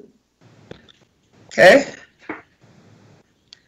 Uh, yeah, go ahead. I, I was saying, I was saying I wanted to respond to the issue that the chair raised around the performance of the commission. And to specifically say, Chair, that um, I wanted to state on record that perhaps uh, you read the figures incorrectly. because in terms of our report, the 76% um, that you made reference to was, and the 74% and the 62% was the uh, overall performance of the commission as it related to quarter three at that point in time. However, if we looked at the performance of quarter three of the commission, we, we performed for 141% for settlement and 96% for finalized. And then in terms of quarter four, again, we overachieved by 126% and 190% for quarter four. And then the overall achievement, if you look at the end of the year, we, are, we achieved all our targets 102% for settled and 108% for finalized, which means that we were able to recover in quarter three and four and overall uh, perform uh, um, 100% in terms of the, the you, Chair. Well, thank you, uh, Mamu Gobodo. I was reading on a particular slide and uh, I'm happy that you corrected the figures because that's the figure that I was lifting up for a slide, so I might have read it wrong. Thank you for outlining that. Uh, Chairperson, I'm not sure that I can come in. Yes, go ahead, uh, Mamu Tides. And thank you very much, Chair. And thanks to the members for the issues that they've raised as well as their observation. There was a pointed question asked by uh, Honorable Steyn, can myself or the DG or anybody else actually say that you are happy uh, about the performance? Surely, I don't think anybody will be happy when the performance is not what is expected, particularly in terms of goals set and not being achieved as one would have liked. So that is why the DG in his response was saying, we will seek to continuously improve where we are found wanting. Chairperson, there's an issue that was raised uh, by Honorable Mutwendi in respect, in, res, uh, in respect of the moratorium. I just want to indicate that with respect to the moratorium on administration, it wasn't a decision of the minister. It was actually the decision of the DPSA in terms of those departments that were merging. However, we were allowed to fill those critical posts.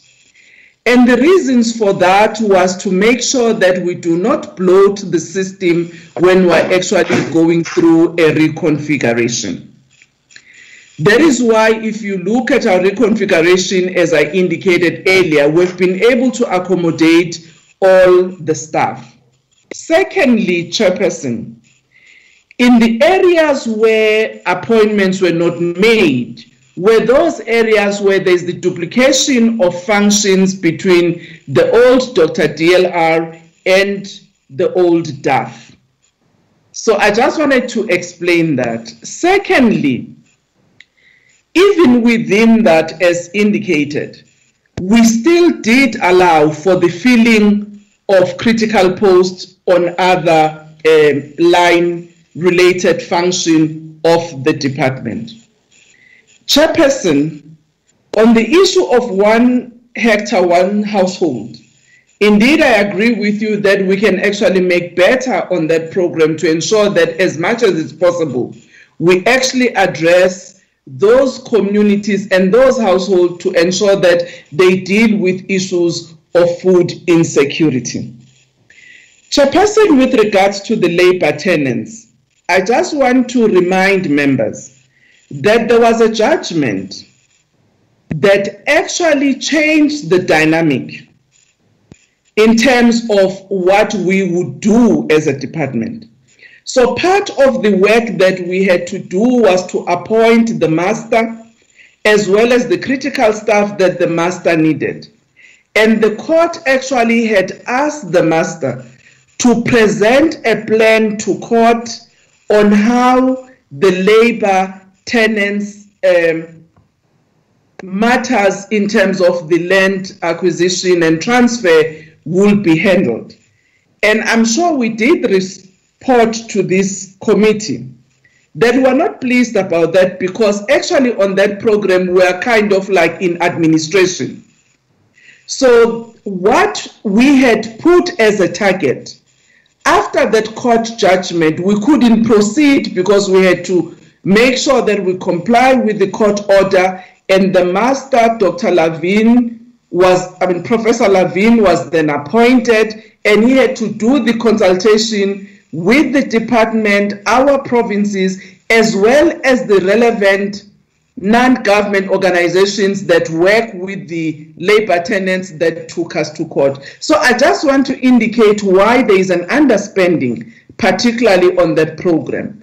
The master will now be working with us on the implementation plan that would have been agreed to by the Land Claims Court chairperson. I hope that does um, deal with the issues that have been raised.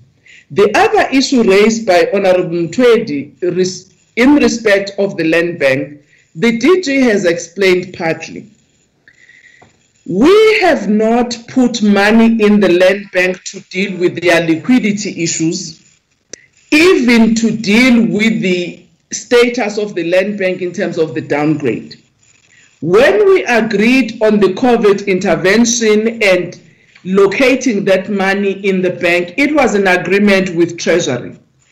But indeed, Treasury and the Land Bank have come back to us to say, let's take the 100 million because the status of the bank as it stands is not going to be able to accommodate that amount. So the money has not been spent by the Land Bank. However, what we've agreed is that the land bank is going to go back to those farmers in distress, assess them in terms of their criteria, and then indicate to us as the department those farmers that are successful, and then they will be paid from that resource. I thought I needed to clarify that because that money has not been spent by the land bank, nor has it been made to shoulder the bank in the problems that it is um, experiencing. Chairperson, I want to again come back to the matter of the FPSUs and agri-parks, which we dealt with when we started in this sixth administration. That indeed commitments for this program was made. We agreed the program will continue. But we also agreed that there were certain things that were not done in a manner that would allow us to achieve the desired impact. Part of the delay, unfortunately, it's about dealing with those issues. Issues that you yourself, Chairperson, and the members actually highlighted to us from the beginning, where you yourselves in your oversight that you did pointed to us that in certain areas it was just a fence. There was no activity that was happening. So I just want to indicate that yes, we might be slower in the way in which we are doing that correction, but it is in the interest of trying to address the issues that you yourselves as the committee have raised with us. So I just thought it's important for me to respond to some of those issues that Chairperson you yourself has raised. And in respect of the information which uh, Honorable Steyn have indicated that has not come forth, that has been requested to the Honorable Minister. Thank you very much, Chairperson. We will follow on those uh, issues of responses that members are raising concerns that we have not responded to. Thank you very much. Thank you, uh, Mahmoud Didiza and uh, the uh, DG and officials of the department uh, for the presentation and also for giving uh, uh, answers uh, to the questions of clarity posed by the honorable members. We would like to request that uh, you uh, send uh, the answers uh, to the questions uh, back to the committee in writing so that we can be able to have it for our records no later than uh, next week, Wednesday, close of business day. Let us proceed then, honorable members, with the presentation by the Ingonyama Trust Board. I will now uh, take the opportunity to hand over to the chairperson of Ingonyama uh, Trust Board, Ujudge Ngwenya. Thank you, Chairperson, and good afternoon to all honorable members, the Minister, and all official present. The Chairperson has already noted the delegation from ITB, which includes three Yamakosi, Nkosi Kumete, Bele, and Nkosi Mavundla. Uh, Mr. Shabalala has just walked out. And the acting CEO, Mr. Kabela. Uh, Chairperson, our presentation will be done by the acting CEO, Mr. Kabela, and we will fill in where necessary.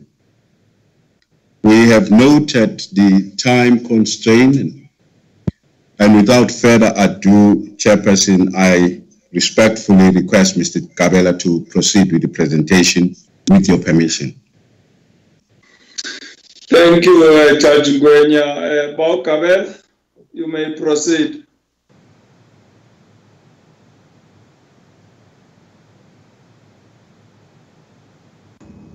Uh, th- thank Chairperson, greetings, members, Minister, colleagues, senior management of the department.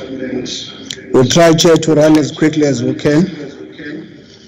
We are going to Sorry, Bao present. Kabela. Can I request uh, all honor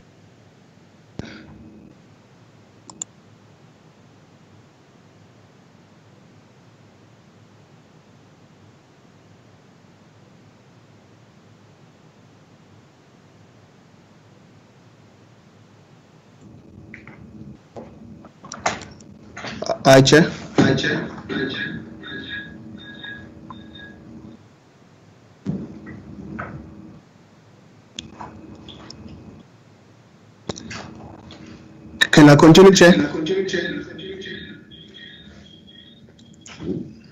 Please continue. Thanks, Chair. I was just alluding to the fact that we've got um, three different categories of our presentation. Quarter three reports, quarter four reports, and also some response to additional information which was contained in the letter we received from the portfolio committee.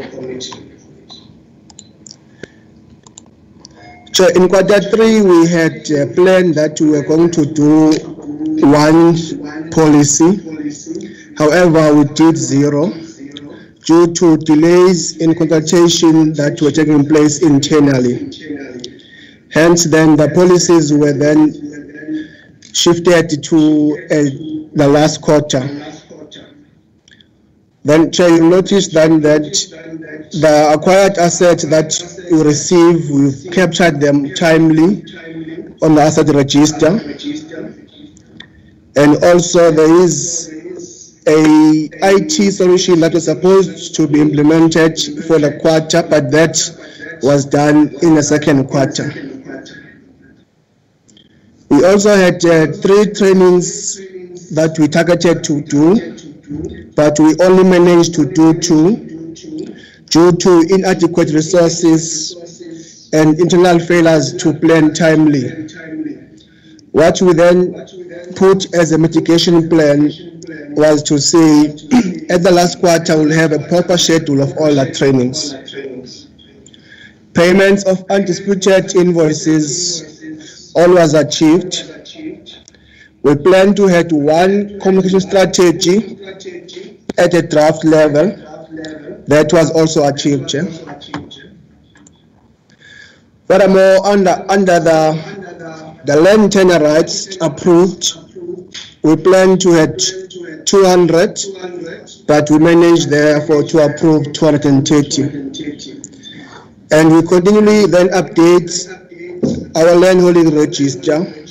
The target for the quarter was one, and we achieved that one.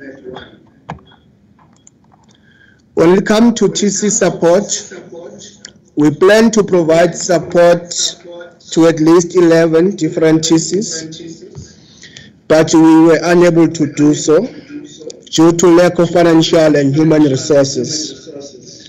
Then the command then at the end of the third quarter was that we discontinue with this due to find funds and human capital. And this then will then be reinstated in a new financial year, which is currently where we are. We plan then to support about 50 beneficiaries with educational support or bursaries, but we were unable to process this. But we have now since, according to the mitigation plan at the third quarter, consolidated all these requests with the aim of achieving all of them at the end of the fourth quarter. I'll now check I just zoom quickly to expenditures for the third quarter relating to the board. For administration, the third quarter budget was 13 million, but we were able to spend 11 million. Furthermore, Chair, on goods and service, we had a budget of 3.6 million. We spent about 3.5 in that quarter. Then for employee compensation, we had 9.8 million, but we spent 7.8. So this is just Chairperson, the economic classification of where the money for goods and service was spent on to that total amount of 3.5. Then just the IT. On the IT side, then we budgeted to spend on corporate services and financial administration 4.7 million, but we spent only 529,000. On land and tenant management services, the budget there was 25 million, but the actual expenditure was only 3.7 million. On TC support, the budget for third quarter was 5 million, but we spent 451,000. So this is the IT goods and service expenditure as per what we did for the board. And this is the list then of the items which make up that 4.6 million on goods and services under the Ingonyama Trust. Chair, I'm going to now move on quarter four performance. On quarter four on policies, we had two policies that you wanted to do, but we did zero. But we say that then the, we had three policies that were at the draft stage. That was the ICT, fleet management, and the credit control and debt management. These then are being discussed with the accounting authority, and if all goes well with the COVID and the lockdown, we should be able then to have them approved in the second quarter of this financial year. The assets then that were procured were properly registered. Vacant position, we did not have any there that were filled. The IT solution, as I said earlier, it was done earlier due to the agency of having that protection. So hence here we do not have any, but it was achieved on the second quarter. The training for quarter four was three as well, Chair, but zero was achieved.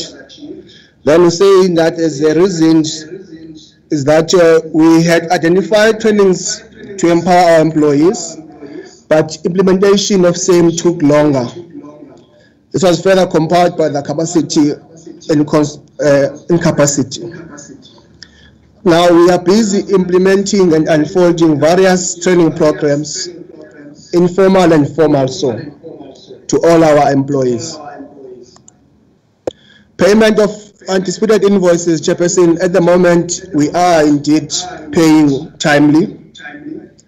We targeted to have an approved communication strategy in the fourth quarter, However, we are busy with the draft that we are looking at, and we feel that that should be then approved now in the third quarter of the financial year due to a number of consultation with a number of stakeholders that's supposed to take place before we can have a proper communication strategy for the ITB. Chair, in terms of the land rights, we targeted 200, but we approved 725. Also, on the land holding register, it was updated as per the target of one. On the TC side, Chairperson, we had 12 training that we targeted for the TC supports. But then we're saying that, as we said earlier, that we do not have funds in the third quarter. This then means this is an unfunded expense that cannot provided in the budget. But then the trust from its limited resources has made money available to finalize the process to appoint a training coordinator and also facilitators who are going to support and assist the board in and rolling out a proper training to all TCs. On the uh, educational awards or bursaries, as we said previously that this was not achieved in the third quarter. Also, in the fourth quarter, it was not achieved because now we were busy reconciling, reconciling all the list of beneficiaries that we received. And at the time then that we were about to process those, we were then the country was under disaster and lockdown. Hence, we were unable to get some confirmation from some universities in terms of their payments methods and accounts. But we are then going to reactivate this currently as we open up now in the level 3 alert.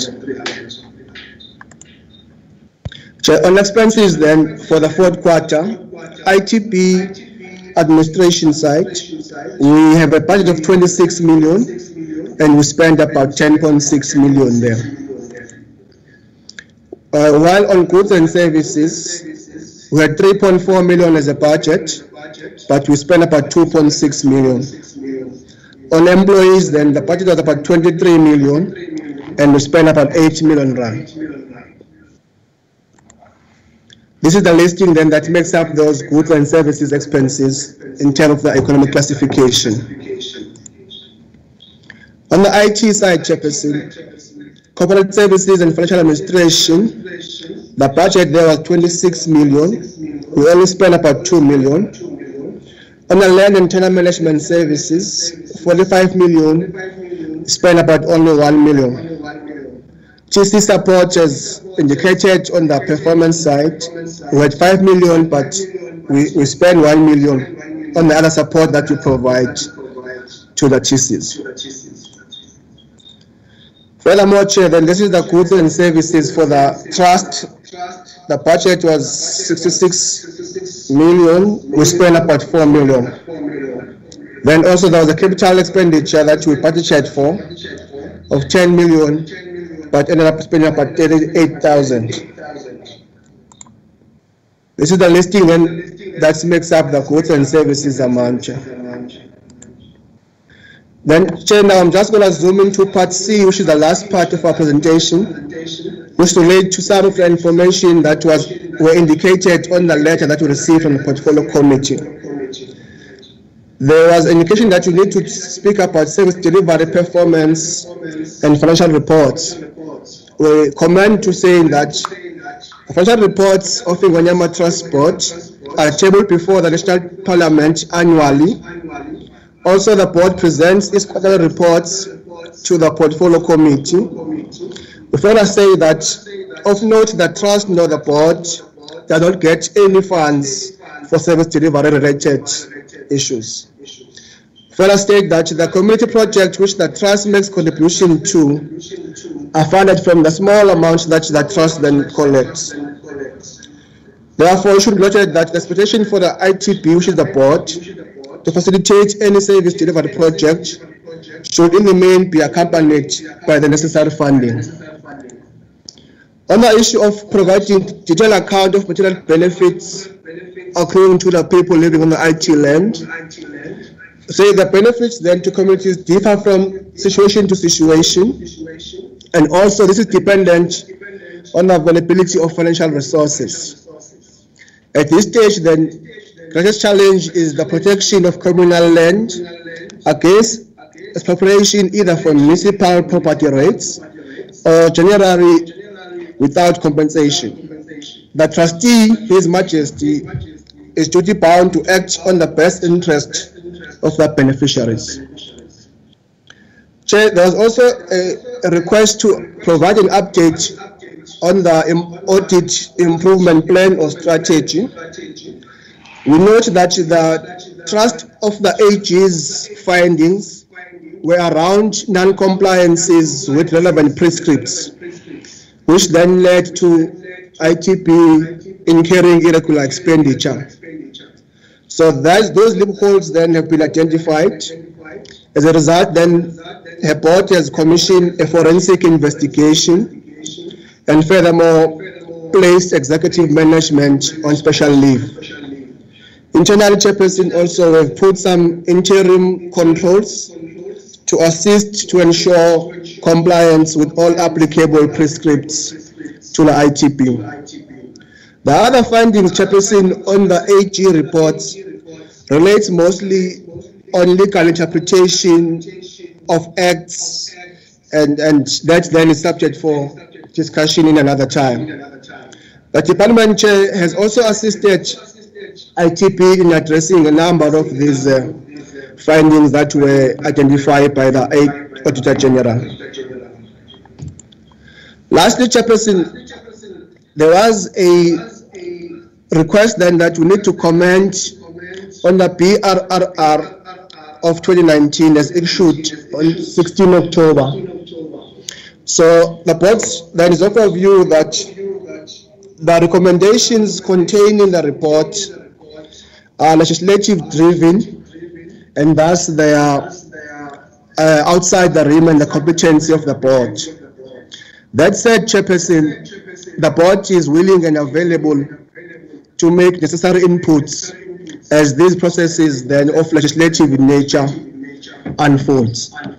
I thank you very much, Chair. I think I tried to, to do within the allocated time frame.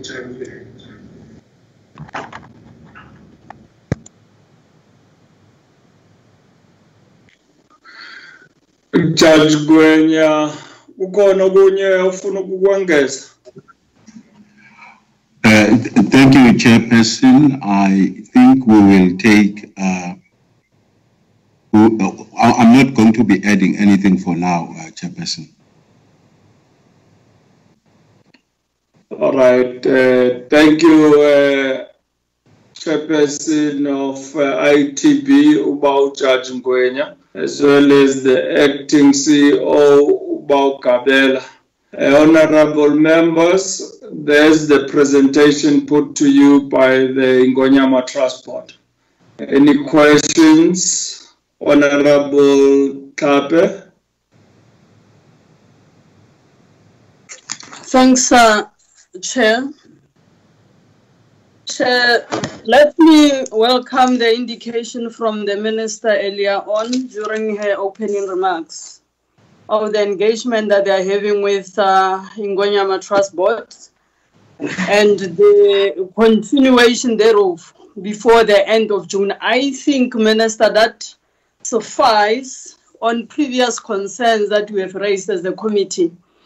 And uh, that will also pave way on issues that we have always raised and contested in this portfolio, especially on the role or the intention for establishment of the Ingonyama Trust Board.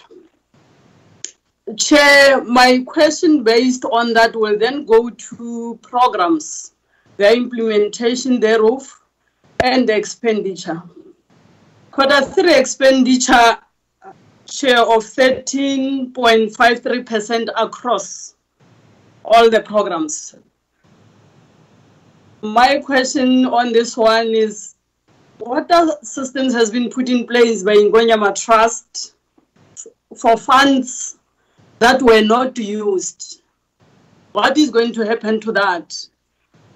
And the concern here is that the funds were not used for the intended purpose because only 13.53% could be spent across the board. What uh, systems have they put in place or what are they uh, intending doing with the, the, the, the, the funds that were not spent? There's also, Chair, an indication, yeah, traditional community or traditional council support, expenditures percent of the total goods and service budget, it has declined from 49% in quarter two to 9% in quarter three and 20 in quarter four. If this area chair is one of the of that one that relates to material benefits of administration of Ingonyama Trust land, could the the board explain why such a decrease in the expenditure? The last point, Chair, will be on the on the drastic decrease in the expenditure for administration. And I applaud the, the consequence management that the, the acting CEO indicates that because of loopholes, there's commissioned uh, forensic investigation and managers are on leave, executive managers. Obviously, they're still on the payroll. My concern is, the, is that uh, with the expenditure of 34%, there's something going on that needs to be explained. We don't want the board to collapse. What is happening? Why the 34% expenditure? And how is the ITB now running its affairs when this uh, management has been placed on leave? Thanks, Chair. Thank you, Honorable Tlhape. Honorable Mahlatsi.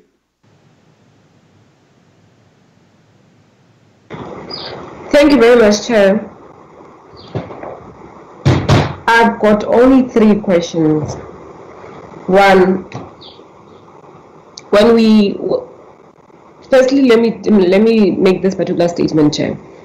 In our first, during the Auditor uh, General's report, we agreed in principle that whenever we deal with quarterly reports, we'll also deal with issues of audit, inclusive of risk management. And I don't see the risk management process coming forth. It's only the, the remedial actions of the Auditor Generals that are coming through. So I would just want to make that particular request that as we deal with with issues of, of the quarterly reports, we also look into that. Now, Chair, I just want to find out from um, the board uh, in relation to the special leave of executive. Are they as that this special leave means that they are on full salary payment? If yes, I want to check also what are the suspected transgressions of these particular executives and how many are they and who are they? Two, um, Chair, there was one slide where we are speaking about um, I can't I think it was page 27 if I'm not slide 27 if I'm not mistaken where the presenter indicated that there were programs that were planned but were not budgeted for. This is when I rise with the minister that there's a serious uh, the meeting that we we, we I, I, I would support with the, the board is also on management of the institution. Because it's common cause that you can't plan for something that you have not budgeted for. It's not possible.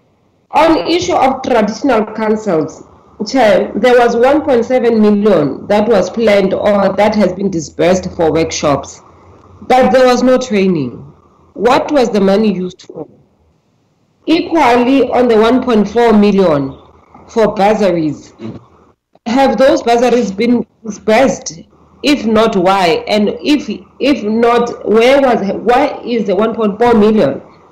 Chair, I, I also want to support uh, the perspective that says uh, we allow the minister to deal with these particular issues because seemingly when um, especially when it comes to management of the board i think there, are challenges with basic principles of what governance means in as far as the board is concerned and in as far as governance policies are concerned. So can we they need merge issues because really we can we cannot honestly and truly go on uh, where monies are spent and there is no clarity in terms of what is actually happening. Thanks, Chair.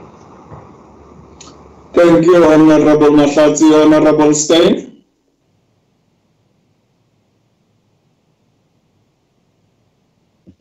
Thank you, Chairperson. Uh, Chairperson, I also would like to thank uh, the Minister for uh, informing us that she met uh, with the Ingonyama Trust Board yesterday. Chair, uh, and I think we need to get um, constant updates or, or, regular updates of, of, of what uh, is happening with that. Chairperson, because I am still uh, not sure about this discussion regarding the, the role of the trust board uh, compared to the role of the Ingonyama uh, state land and the role of the, the, the, the king in all of this. It is very confusing. It is causing uh, a lot of um, problems and I think that is the main reason why we can't uh, move forward regarding uh, the trust land chairperson. So I would like to find out uh, from uh, the question regarding the disciplinary process of the staff that were put on, on special leave, if we have um, some feedback on that. I am not sure if that was covered uh, uh, with the discussion with the minister yesterday. Um, then, Chairperson, a question that I asked last time, and it, it just seems that we can't really get uh, to the bottom of that, is that 113 million rand that was uh, budgeted for land tenure management. I remember I asked that question last time, and there was a bit of a uh, mention about what land tenure management is all about. I would like to find out if the board has a policy uh, regarding uh, land tenure management uh, a policy regarding um, rental, selling, uh, and so forth. And, and this is linked to the question that I asked last time on the um, if the, the land is surveyed or not, because it would make it quite impossible to have a, a policy regarding how do you manage that. Uh, the land itself, if, if it's not surveyed, it's not uh, correctly uh, uh registered Chairperson. My other question is also regarding um, the court cases. And I, am not in KwaZulu-Natal and I don't always fo follow all the, the news regarding that. But I'm concerned, Chair, that when we ask questions, you know, a lot of the answers would be, but it's, uh, you know, there's a court case going on. They can't answer certain questions regarding the court case. Would it be possible for us to get maybe some kind of a list of idea of what the court cases is about? Is it internal issues uh, regarding staff? Is it external issues regarding people living on Ingonyama Trust land? Um, there was mention earlier about a mine uh, dispute uh, and all of that. So, Chairperson, I think it will also assist this uh, this committee to understand what is the the issues uh, regarding communities and, and the Ingonyama Trust uh, board um, on the land. Uh, I will stop there, Chair. There's, there's quite a lot of questions that I have, um, but I, I, I would rather stop there to see how uh, can we move. I just want to say lastly, Chairperson, I've been reading back um, on previous reports from, from the Portfolio Committee, and this is issues that's coming for a very, very long time. So I really uh, hope, Chair, that after the meeting with the minister in June uh, to get to some kind of a understanding of the role um, and the, the, the legislation uh, that we can solve uh, these issues, um, Chair, because I've been visiting some community members that lives on in, in Ingonyama Trust land, and the communities themselves is very unsure of their role. Uh, what is their right uh, uh, on those on the land, and we're discussing land reform and land redistribution, but people living on Ingonyama Trust themselves, they are unsure of development of the land. If they develop the land, what will happen to it? Will will can someone just take it away? So I think, Chairperson, we really need to get to some kind of agreement of, of what is the role of the trust um, and the board uh, regarding that land. Thank you, Chairperson. Thank you, uh, Ms. Steyn. Uh, Ntate Matiase, Honorable Matiase.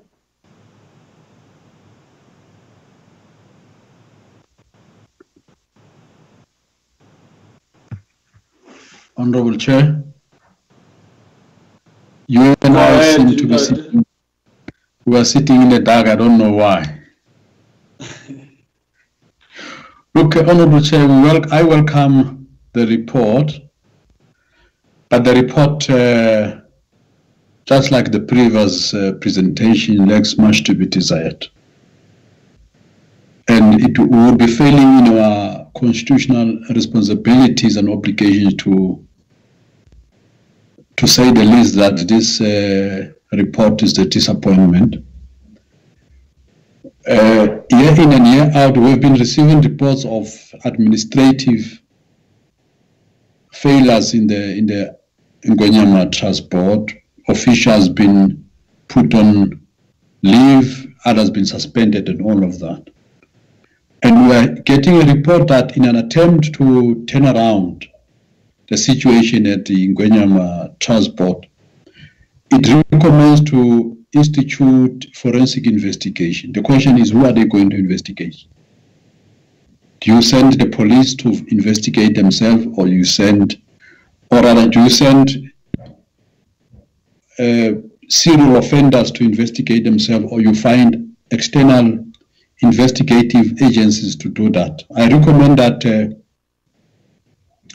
the department must instruct the ITB not to investigate itself, but the department must send a team of investigators, forensic investigators, to investigate the situation and report to the portfolio committee. Secondly, I recommend that uh, to avoid lots of lots of money that is spent on bureaucracy. The Ingonyama Trust Board and and and and and uh, its operation organs, especially the administrative uh, organs, must there must be some intervention that is made that they don't they don't continue to appoint their own staff as it has been the case in the past. The Department of Agriculture, Rural Land Reform and Rural Development must recommend or second officials who shall work in the in, in the IT in, in the ITB, people who shall be loyal first and foremost to the Republic and to the people of this country, and who shall be accountable to the Director General and report to Parliament. If the ITB is an entity of the department, I guess that with these experiences of lapses of what's supposed to happen and all of that, it has shown again and again that they are incapable of running their own affairs. The department must recommend officials that shall work there and account on regular basis. I see no at any time soon that the Ingonyama Trust will overcome its problems. And these problems have been reported by the High Panel by the former President Kgalema Motlanthe. That one, they don't comply with the financial reporting framework prescribed by Public Financial Management Act. They procure goods and services willy-nilly without inviting competitive bidders. They are continuous disgressors and all sorts of things. And I think there is conflict of interest both between members of the board and these functionaries, whether is it the CEO or the CFO or is whosoever working for ITB. There's a conflict of interest, and I don't see ITB resolving these problems. I see it as a leaking vessel. It's a Titanic which is going to sink at any time soon because of of Can you cross irregularities and all of that in the department. I recommend that we take away certain powers of the ITB and such powers must be placed with the department in order to save this uh, uh, linking, leaking, leaking vessel. Thank you so much. Honorable Chwete.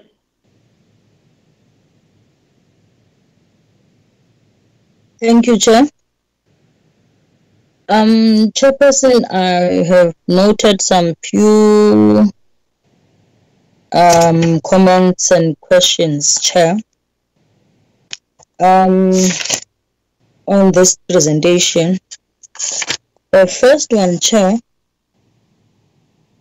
um, I'm reminded that on the second quarter, AITB did not achieve not, did not achieve its um, did not achieve chair um, any of of of of the the targets. Their targets on the training of traditional council that is the second quarter third quarter and now the fourth quarter. They did not achieve any that is really uh, worrying for me I've also chair picked up a situation. In fact, I've also picked up that on the second quarter, the ITB uh, reported to the committee that their annual target on the um, tenure rights, their annual target is is 1,200. That's what the report says. But now, on the third and fourth quarter of the same year, their annual target is, is 1,000 to, of, of, of, of tenure rights. And out of that 1,000, they have achieved e 955 in total. Both I'm adding both chair, the 230 that they achieved on the on the uh, third quarter and the 725 of the of the last quarter. Um, that is 955. Um, I'm, I'm, I'm just wondering, Chair, can the ITB explain to us what happened to the, the initial target, which, which was 1,200 that they reported, by the way, on the second quarter? What, where did, what did it fall, if it fell off, Chair?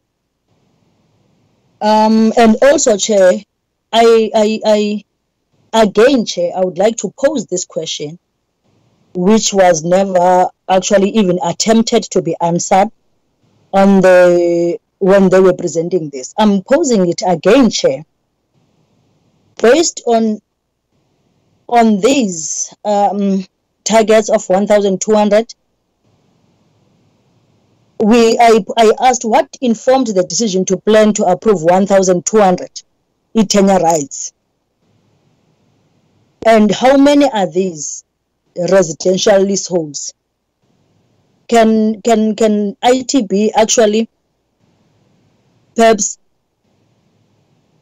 send a list or a number to the committee just to inform the committee out of this 1200 or now 1000 this is the list this is the list of residential leaseholds chair lastly chairperson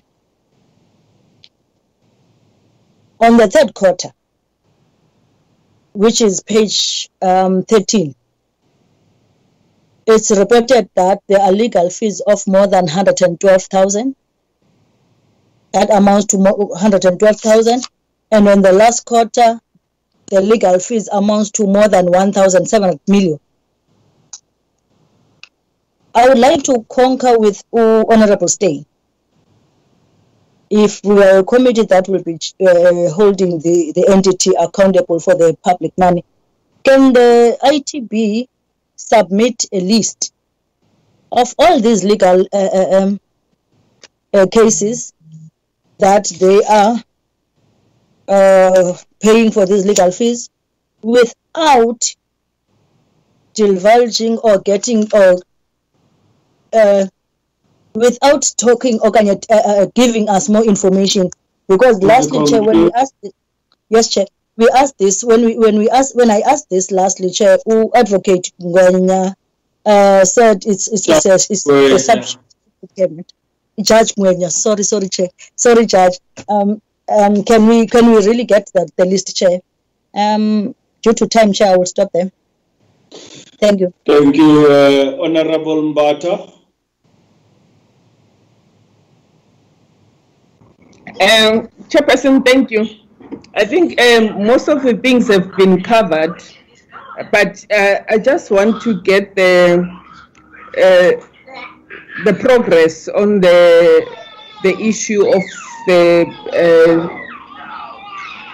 the people executive management that is placed uh, on special leave. It's uh, it's it's for how long and uh, um, and when will it uh, end? Because we don't want to to pay people while, while uh, for a long time, whilst at the end we are we are wasting the government. I mean, I mean the, the funds. These are government funds.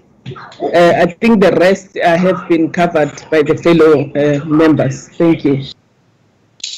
Thank you, Honorable Priet.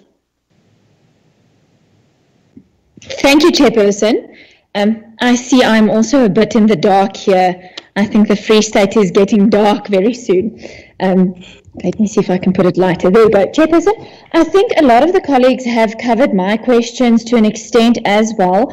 Um, I would like to thank the ITB for their audit action plan. I think um, uh, it seems as if they are really serious about getting things on track and, and performing well in, in their, their audit outcomes. So I hope to see an improvement and I hope to see um, that they actually, that all their plans come to fruition.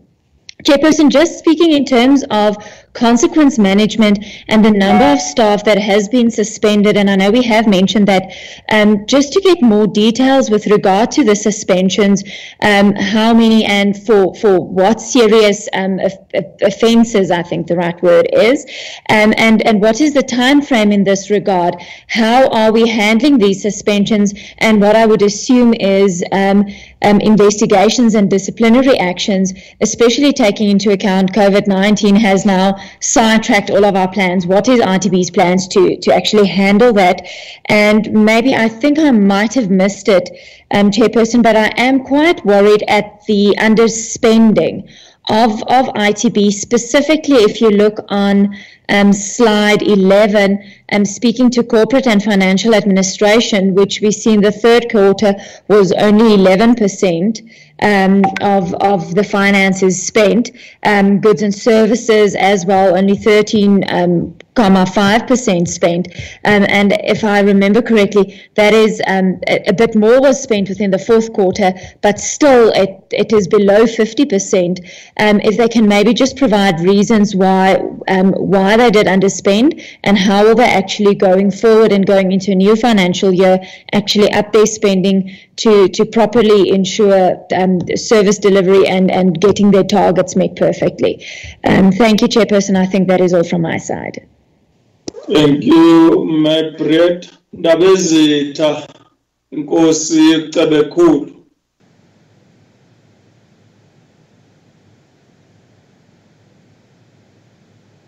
Chairperson. Honorable Nkosi Yes, Chair. Yes, Chair. Go ahead, Ndabezitha.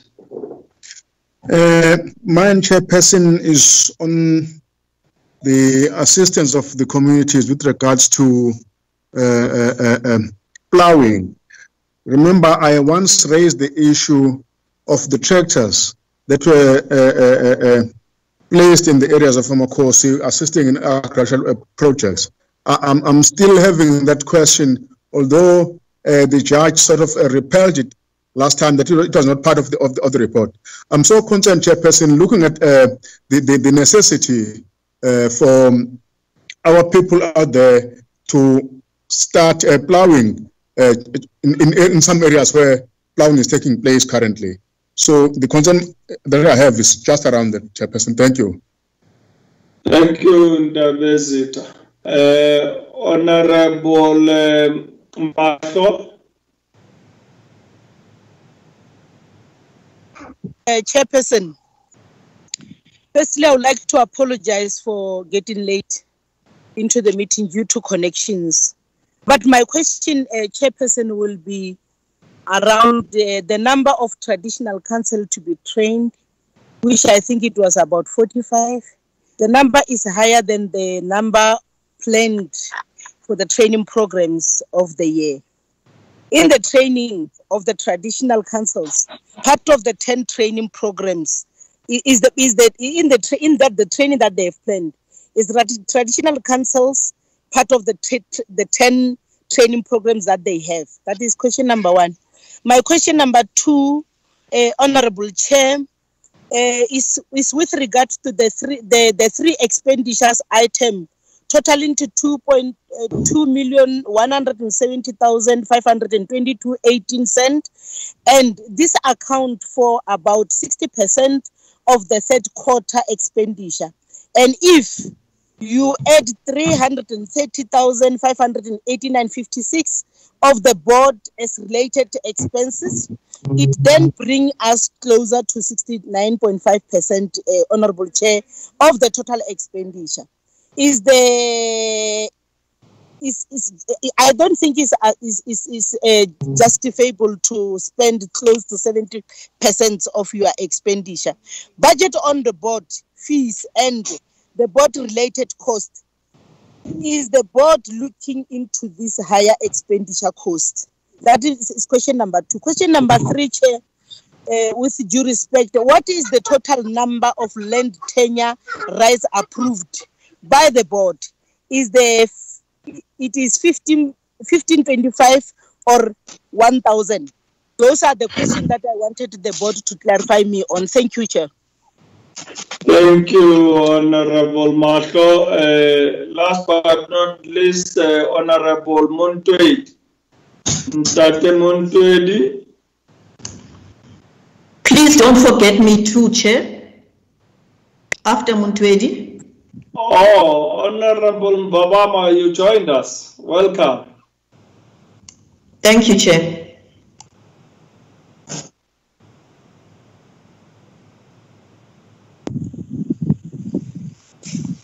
Honorable Montwedi.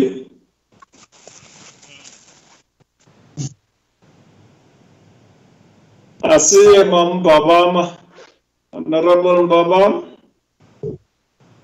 You may proceed. you, Chair. Uh, yes, I have joined just before the um, Dingonyama Trust did their presentation.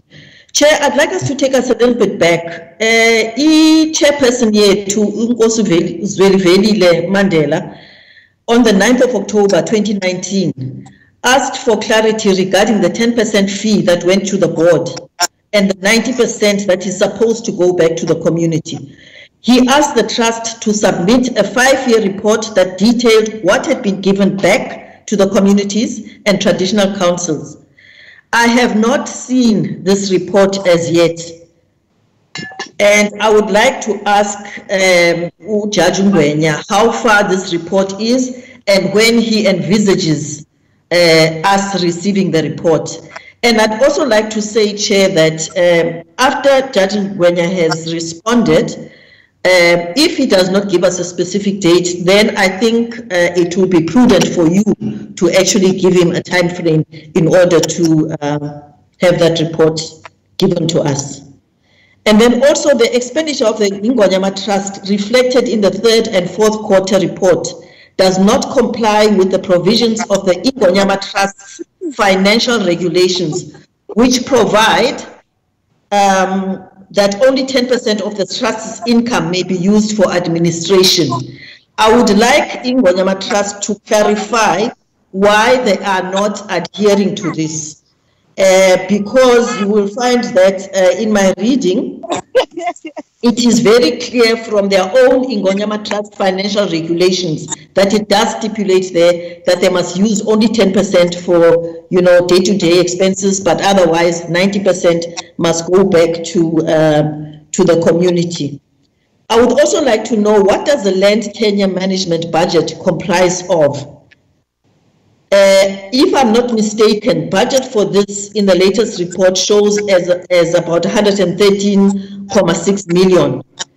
I would like a detailed report or a full breakdown to be provided on what this um, land tenure management budget comprises of uh, from the um, from the from the uh, Ingonyama Trust. Um, okay, training of traditional councils has already been asked, so I won't go into that. I would, my, I think my last question would be the ITB must explain why the third and fourth quarterly reports tabled today fail to show the income of the Ingonyama Trust. Where are the details of this income? And is the ITB as the designated accounting authority of the Ingonyama Trust ensuring that the Ingonyama Trust is in compliance with the PFMA? Um, I'm just looking at my notes, Chair.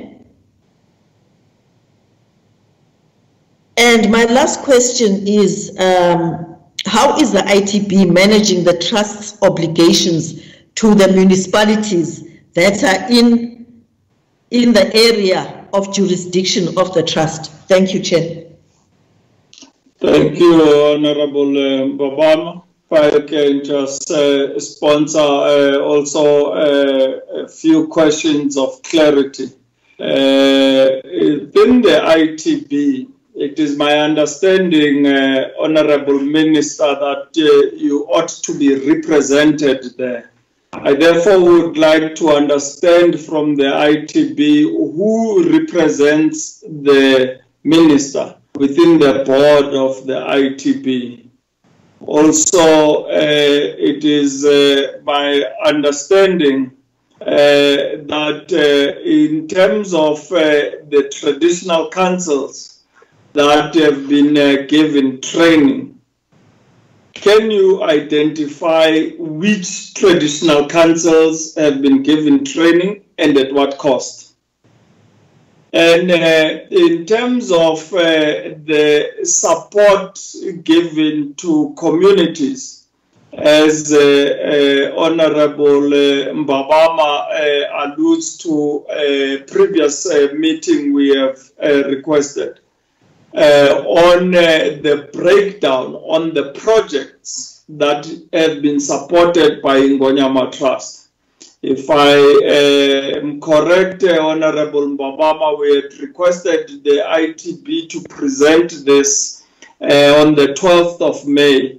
But due to the challenges uh, of uh, uh, lockdown and having to readjust to virtual meetings, we can be able to uh, check with the secretariat as to when is the soonest date we have available to engage on these issues because we would like to ascertain if the monies uh, that have been uh, uh levied on behalf of communities uh, have uh, been able um, have been able uh, to be utilized in those communities. I would therefore like that to be attended uh, at a, a, later date uh, uh announced uh, by the Secretariat according to our uh, programs. but also, it seems that we are seeing difficulty uh, in terms of uh, uh, getting some kind of indication on what the communities are getting of real benefit uh, uh, to them. So I would like uh, the ITB to be able to illustrate exactly what if Unkosi uh, Gumede in his area would be actually benefiting uh, out of uh, the ITB. But you also speak of the bursary programs that you run uh, for youth within the area of Ingonyama Trust. Can you be able to furnish the committee with the list of bursaries that you have provided for the past five years what uh, the field of study those uh, bursary students or beneficiaries have been focusing on and how many have been able to graduate through your bursary program? And having graduated what are those youth uh, located in today uh, in terms of being of assistance to the traditional communities that they come from? Uh, have they been able to uh, effectively give support to the traditional councils that you support? But then uh, on issues of governance uh, within the ITB, uh, the attendance uh, of board meetings, is that recorded? And how are the attendees uh, remunerated for their time uh, in attending such meetings. Uh, the cost of the board fees, if we can get an indication in that regard. But it seems that uh, we are seeing a decrease in expenditure in quarter four. What's the explanation uh, uh, of that? And I think maybe the Honorable Minister can indicate in terms of the interministerial task team that was uh, constituted to look into the issues of uh, Ingonyama Trust Board. How far are they uh, as to date? Because uh, from my own understanding, they've not been able to have a meeting, whether with the Ingonyama Trust Board nor with the trustee, uh, the sole trustee being His, his Majesty uh, King uh, Zwelithini. So we would like to understand uh, as to the work of uh, the interministerial committee, uh, what they've been able to achieve thus far. Uh, I think, uh, honorable uh, members, that is all on my side. May we hand back to the chairperson of the ITB, Uchaj as well as the acting CEO. Thank you, Chairperson. Uh, Chairperson, I have noted there are a number of questions. I hope time will permit that we deal with them. We do have about 15 minutes before we adjourn the meeting. So those questions that haven't been answered, we will ask for them to be uh, answered in writing. Uh, Judge you may proceed. Thank you, Chairperson. Chairperson, uh, if I listen to the questions as asked, uh, in particular, I want to touch first on the Honorable Member Mbata and Honorable Mbabama because their questions are somewhat interrelated in the sense that the assumption is that the projects that the ITB commits itself to are the projects that are funded by government. And Honorable Mbata says that this is government funds, it should be obvious from all the records that you have, even the budget review of October last year,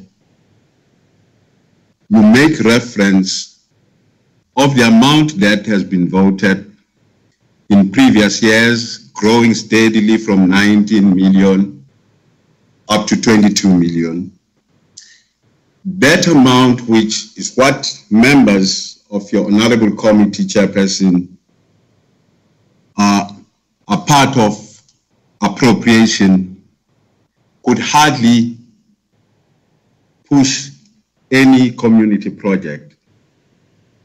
In fact, the money from the state disappear from to the administration before we can do anything is lesser than what the budget of the ITB is. So everything else that we are talking about here That is money generated as a result of land use by the ITB, by the trust rather. In particular, Chair, from other questions that you have raised, even now among other things you say, is that there are monies that are levied to the communities. We don't collect those monies. What is called tribal taxes is collected currently by COGTA of the province. We don't know what they do with that. So I want to be very clear before this committee that what we are talking about is the money that the trust generate from either leases or servitude or royalties. So everything else should revolve around that.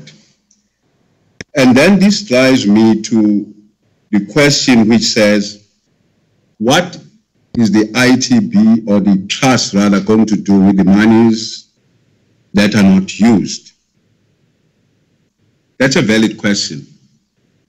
But members of this committee, Chairperson, know fully well every year that one of the requirements during the audit is that Ingonyama Trust must provide for contingent liability on municipal rates.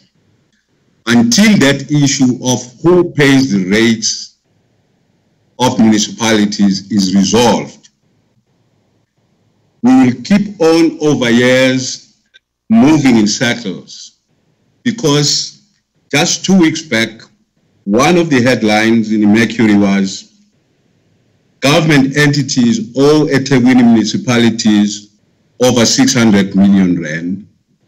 Those government institutions are not mentioned except Ingonyama Trust to say Ingonyama Trust is owing 186 million rand.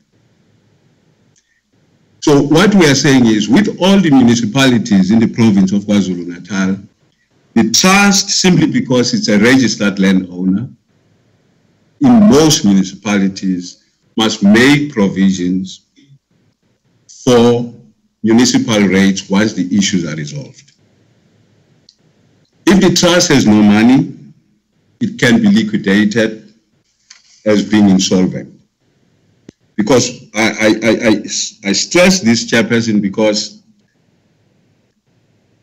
most questions revolve around the board has got no competence, it must be dissolved, it does not know whether it's coming or going, and it's wasting the state money. That is not the case. I am not going to deal with the, the reason for the existence of the trust and so on. Uh, at this stage, I'm pleased that the Honorable Minister is present here, but there could be a different time where we can make an input on that. But what I wish to say, uh, Chairperson, is that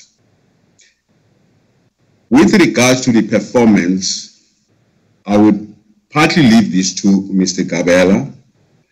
But what I do want to say is that we are told by this committee that we are not following the provisions of the PFMA, but no specific reference of that is brought to our attention. Neither do we find that in the audited financials on yearly basis which are presented to this committee. The new format, one of the difficulties, because I think Honorable Matati spoke about the risk report that must be provided. The difficulty that we normally have is that the Treasury will provide a template of how we should prepare our reports. The portfolio committee has got its own views, but those views, sometimes we get to know by, uh, uh, of them like we have today that we should have provided for that. We do hope, Chairperson, moving forward that more information will come. So the question of what system for funds that were not used, I've explained that, that the funds of Ingonyama Trust are not hidden anywhere. What is also, I think, confusing because the impression is created that Ingonyama Trust is a multi-billion organization. That's not the case. It's because of the system we use. If you look at every financial year, the projection has two components. One component is what they call our accountants straight line accounting. Straight line accounting will give you a higher amount, but that is not actual cash. One can look at every any annual report of every year. You'll find that they will say in a year the income will be 130 million. Of that, you'll find that 100 million rand, for instance, is that straight lining. And then the actual income would be 30, 30 million or so. The reason for that is this. What is called straight line accounting from the accountant, we understand they take the life of a lease, be it a commercial or residential, is 40 years, amortize it, and say if this was to be converted, in other words, it's a 40 year lease, they say if I were to put value in it today, this is what it would be. So what I'm saying is that is always misleading because I say I urge the honorable members to look at every financial uh, report of the Ingonyama Trust. You will see that the actual amount we receive in every year, I haven't seen as yet where the actual amount generated per year reaches even 40 million rand. The actual amount would be 30 odd million rand. So the decline in TC support and drastic decrease, the decrease in administration and the issue of the executive management that has been placed on special leave, maybe that may help the members of this committee, even those who are not present, to explain that. In part, the committee, we have picked up on all the reports, says don't collect money at all for leases or anything else. It doesn't say where the trust must get money from in substitution of the money that we get. So in other words, we must sit in the trust, receive no money on behalf of the trust, and therefore fail to achieve the mandate, which is the trust, the land must be administered for the material well benefit of the people. Because there is no income coming, we must, there is no money, no additional funding from the government.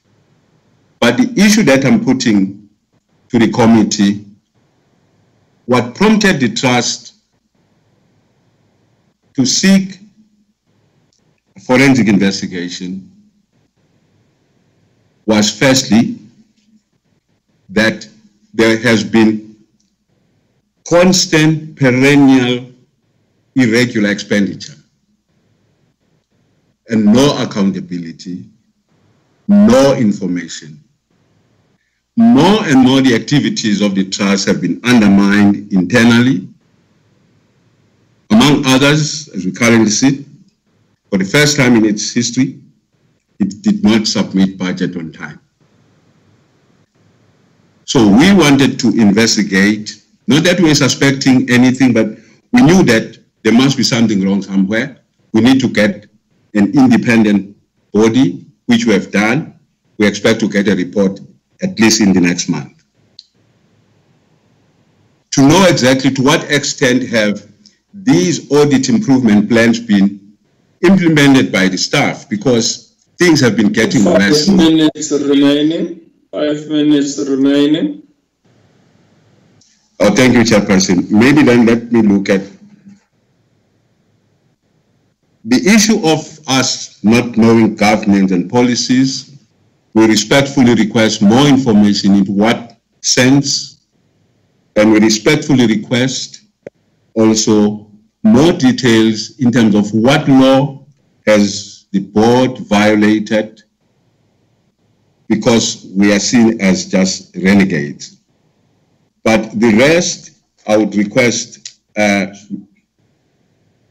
Mr. Gabela just to, to round up. Thank you.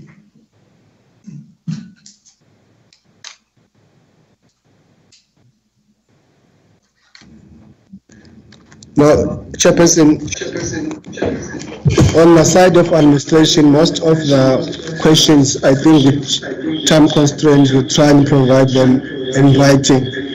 And some of the things are requesting the listings of bursaries, listing of projects, and all those other stuff. Thanks, Chair.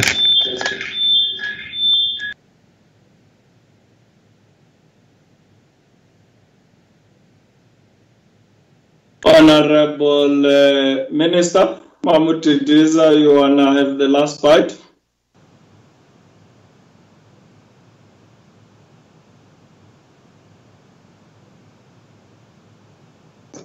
Honorable uh, Mahmoud Chairperson. Yes, Chair, I'm trying. Um, Okay. Thank you very much, Chairperson. I just wanted to maybe respond to just two issues uh, that were raised in respect of um, the governance that was raised by um, Honorable Matthias. I do not think, uh, in terms of the legislation that governs the ITB, we do have the latitude to actually make appointments of staff for the ITB. So I wanted to clarify that. Secondly, with regards to the investigation, these are investigations that, in terms of governance, the board is empowered uh, to do because the board is the one that oversees the management of the ITB. And thirdly, in terms of the Ingonyama Trust uh, Act, the minister doesn't have a representative in the board. However, the minister, together with the premier of the province of KwaZulu Natal and Ingonyama, there is a way in which the appointment to the board is uh, designated on how that is done. So it's not like the minister has her direct uh, representative. The other matter, Chairperson, you have raised relates to the work of the IMC.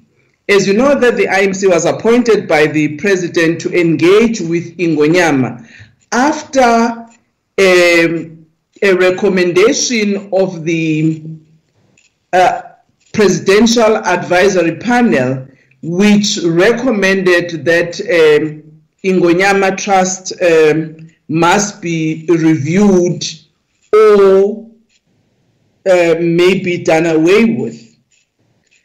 So the president engaged with the king and then indicated that he would appoint an in- interministerial committee that will actually engage with the king as well as with the board. What had happened is that Minister Mthembu actually went and met uh, with the king at the behest of the president, and then there was agreement that the ministerial team will then engage with the trustee, who is Isilo in this instance, clarify what the uh, their understanding of the advisory board recommendation. And I also want to say, Chair, the chairperson of the advisory board, Dr. Vuyo Mahlati herself, actually went and met with Ingonyama and explained the report as they were the authors of the report, what made them, uh, them to make the recommendation uh, that they made. The ministerial committee is still going to meet with the Isilo before meeting with Ingonyama Trust Board. But as the minister responsible, that's why we're continuing to have the engagement, particularly arising on the issues that have been raised by this portfolio committee in respect of the board. The other process of the interministerial committee is beyond the scope of this committee, relates to the broader issues around issues of Ingonyama Trust as they were raised from the letter from Isilo. Thank you very much, Chair. I thought I needed to clarify that. Thank you, Honorable uh, Minister, uh, for your input. Let me uh, highlight, uh, honorable members, that uh, we continue to uh, face uh, challenges in terms of accountability of uh, the budget uh, that is afforded to the ITB by the department. In terms of the questions raised by the honorable members, and I would like to see as to the questions that will be answered in writing if they truly satisfy the honorable members. Uh, so uh, the issues that speak uh, directly to the training that is afforded uh, to traditional councils, which traditional councils, how much, if they can be answered. But also uh, the issues uh, vested around bursaries that are being afforded to youth within uh, uh, uh, the land of Ingonyama Trust. But I think we will also need to uh, find a means and ways, uh, honorable members, of understanding the full amount that is uh, able through leases, uh, whether be through uh, the mining rights and leasing agreements uh, Ingonyama Trust uh, engages on, how much of uh, money is received by the ITB through such leases because we are totally uh, not in the know-how as to what those funds are. But I think, uh, Honorable Minister, uh, we will allow you time and space to engage with the ITB uh, during uh, this uh, uh, month of June as by your request. But I must highlight that the committee has made recommendations that the ITB must be put under administration and we need to look into the affairs of Ingonyama Trust. But I must also echo the sentiment, uh, Honorable Minister, that 26 years later into our democracy, we should be able to evaluate if the ITB has been a success case or a failure. And if it is a success case, we should be able, because we are living in a constitutional democracy that recognizes other uh, uh, nations and other uh, monarchs, we should be able to replicate Ingonyama uh, Trust for the other monarchs, such as His Majesty uh, King Ramabulana of the Vendors, His Majesty King Sekhukhune of the Pedis, Her Majesty uh, Queen Modjadji of Balobedu, and the other uh, monarchs around the country. But it's, if we should come to a finding that Ingonyama Trust has been a failure, we as a committee believe we should uh, be able to scrap uh, this and uh, look into uh, other uh, issues. But we will leave the minister uh, with the engagement that you will be having, and we would like to engage further on these matters upon your findings. With that said, honorable members, let me thank you for this attendance of uh, this uh, portfolio committee meeting uh, on uh, the agricultural land reform and rural development. And would like to thank the department, the honorable minister, the DG and the officials of the department uh, for the presentations put to us, as well as uh, the chairperson of Ingonyama uh, Trust Board, uh, Judge Ngwenya, and the acting CEO, Bauka Bella and Amakhosi within the ITB for having attended. We wish you a wonderful evening and that you may navigate uh, well through the weekend that is upon us. Thank you. Good evening. Bye bye. Thank you, Chairperson. Thank you, Chairperson.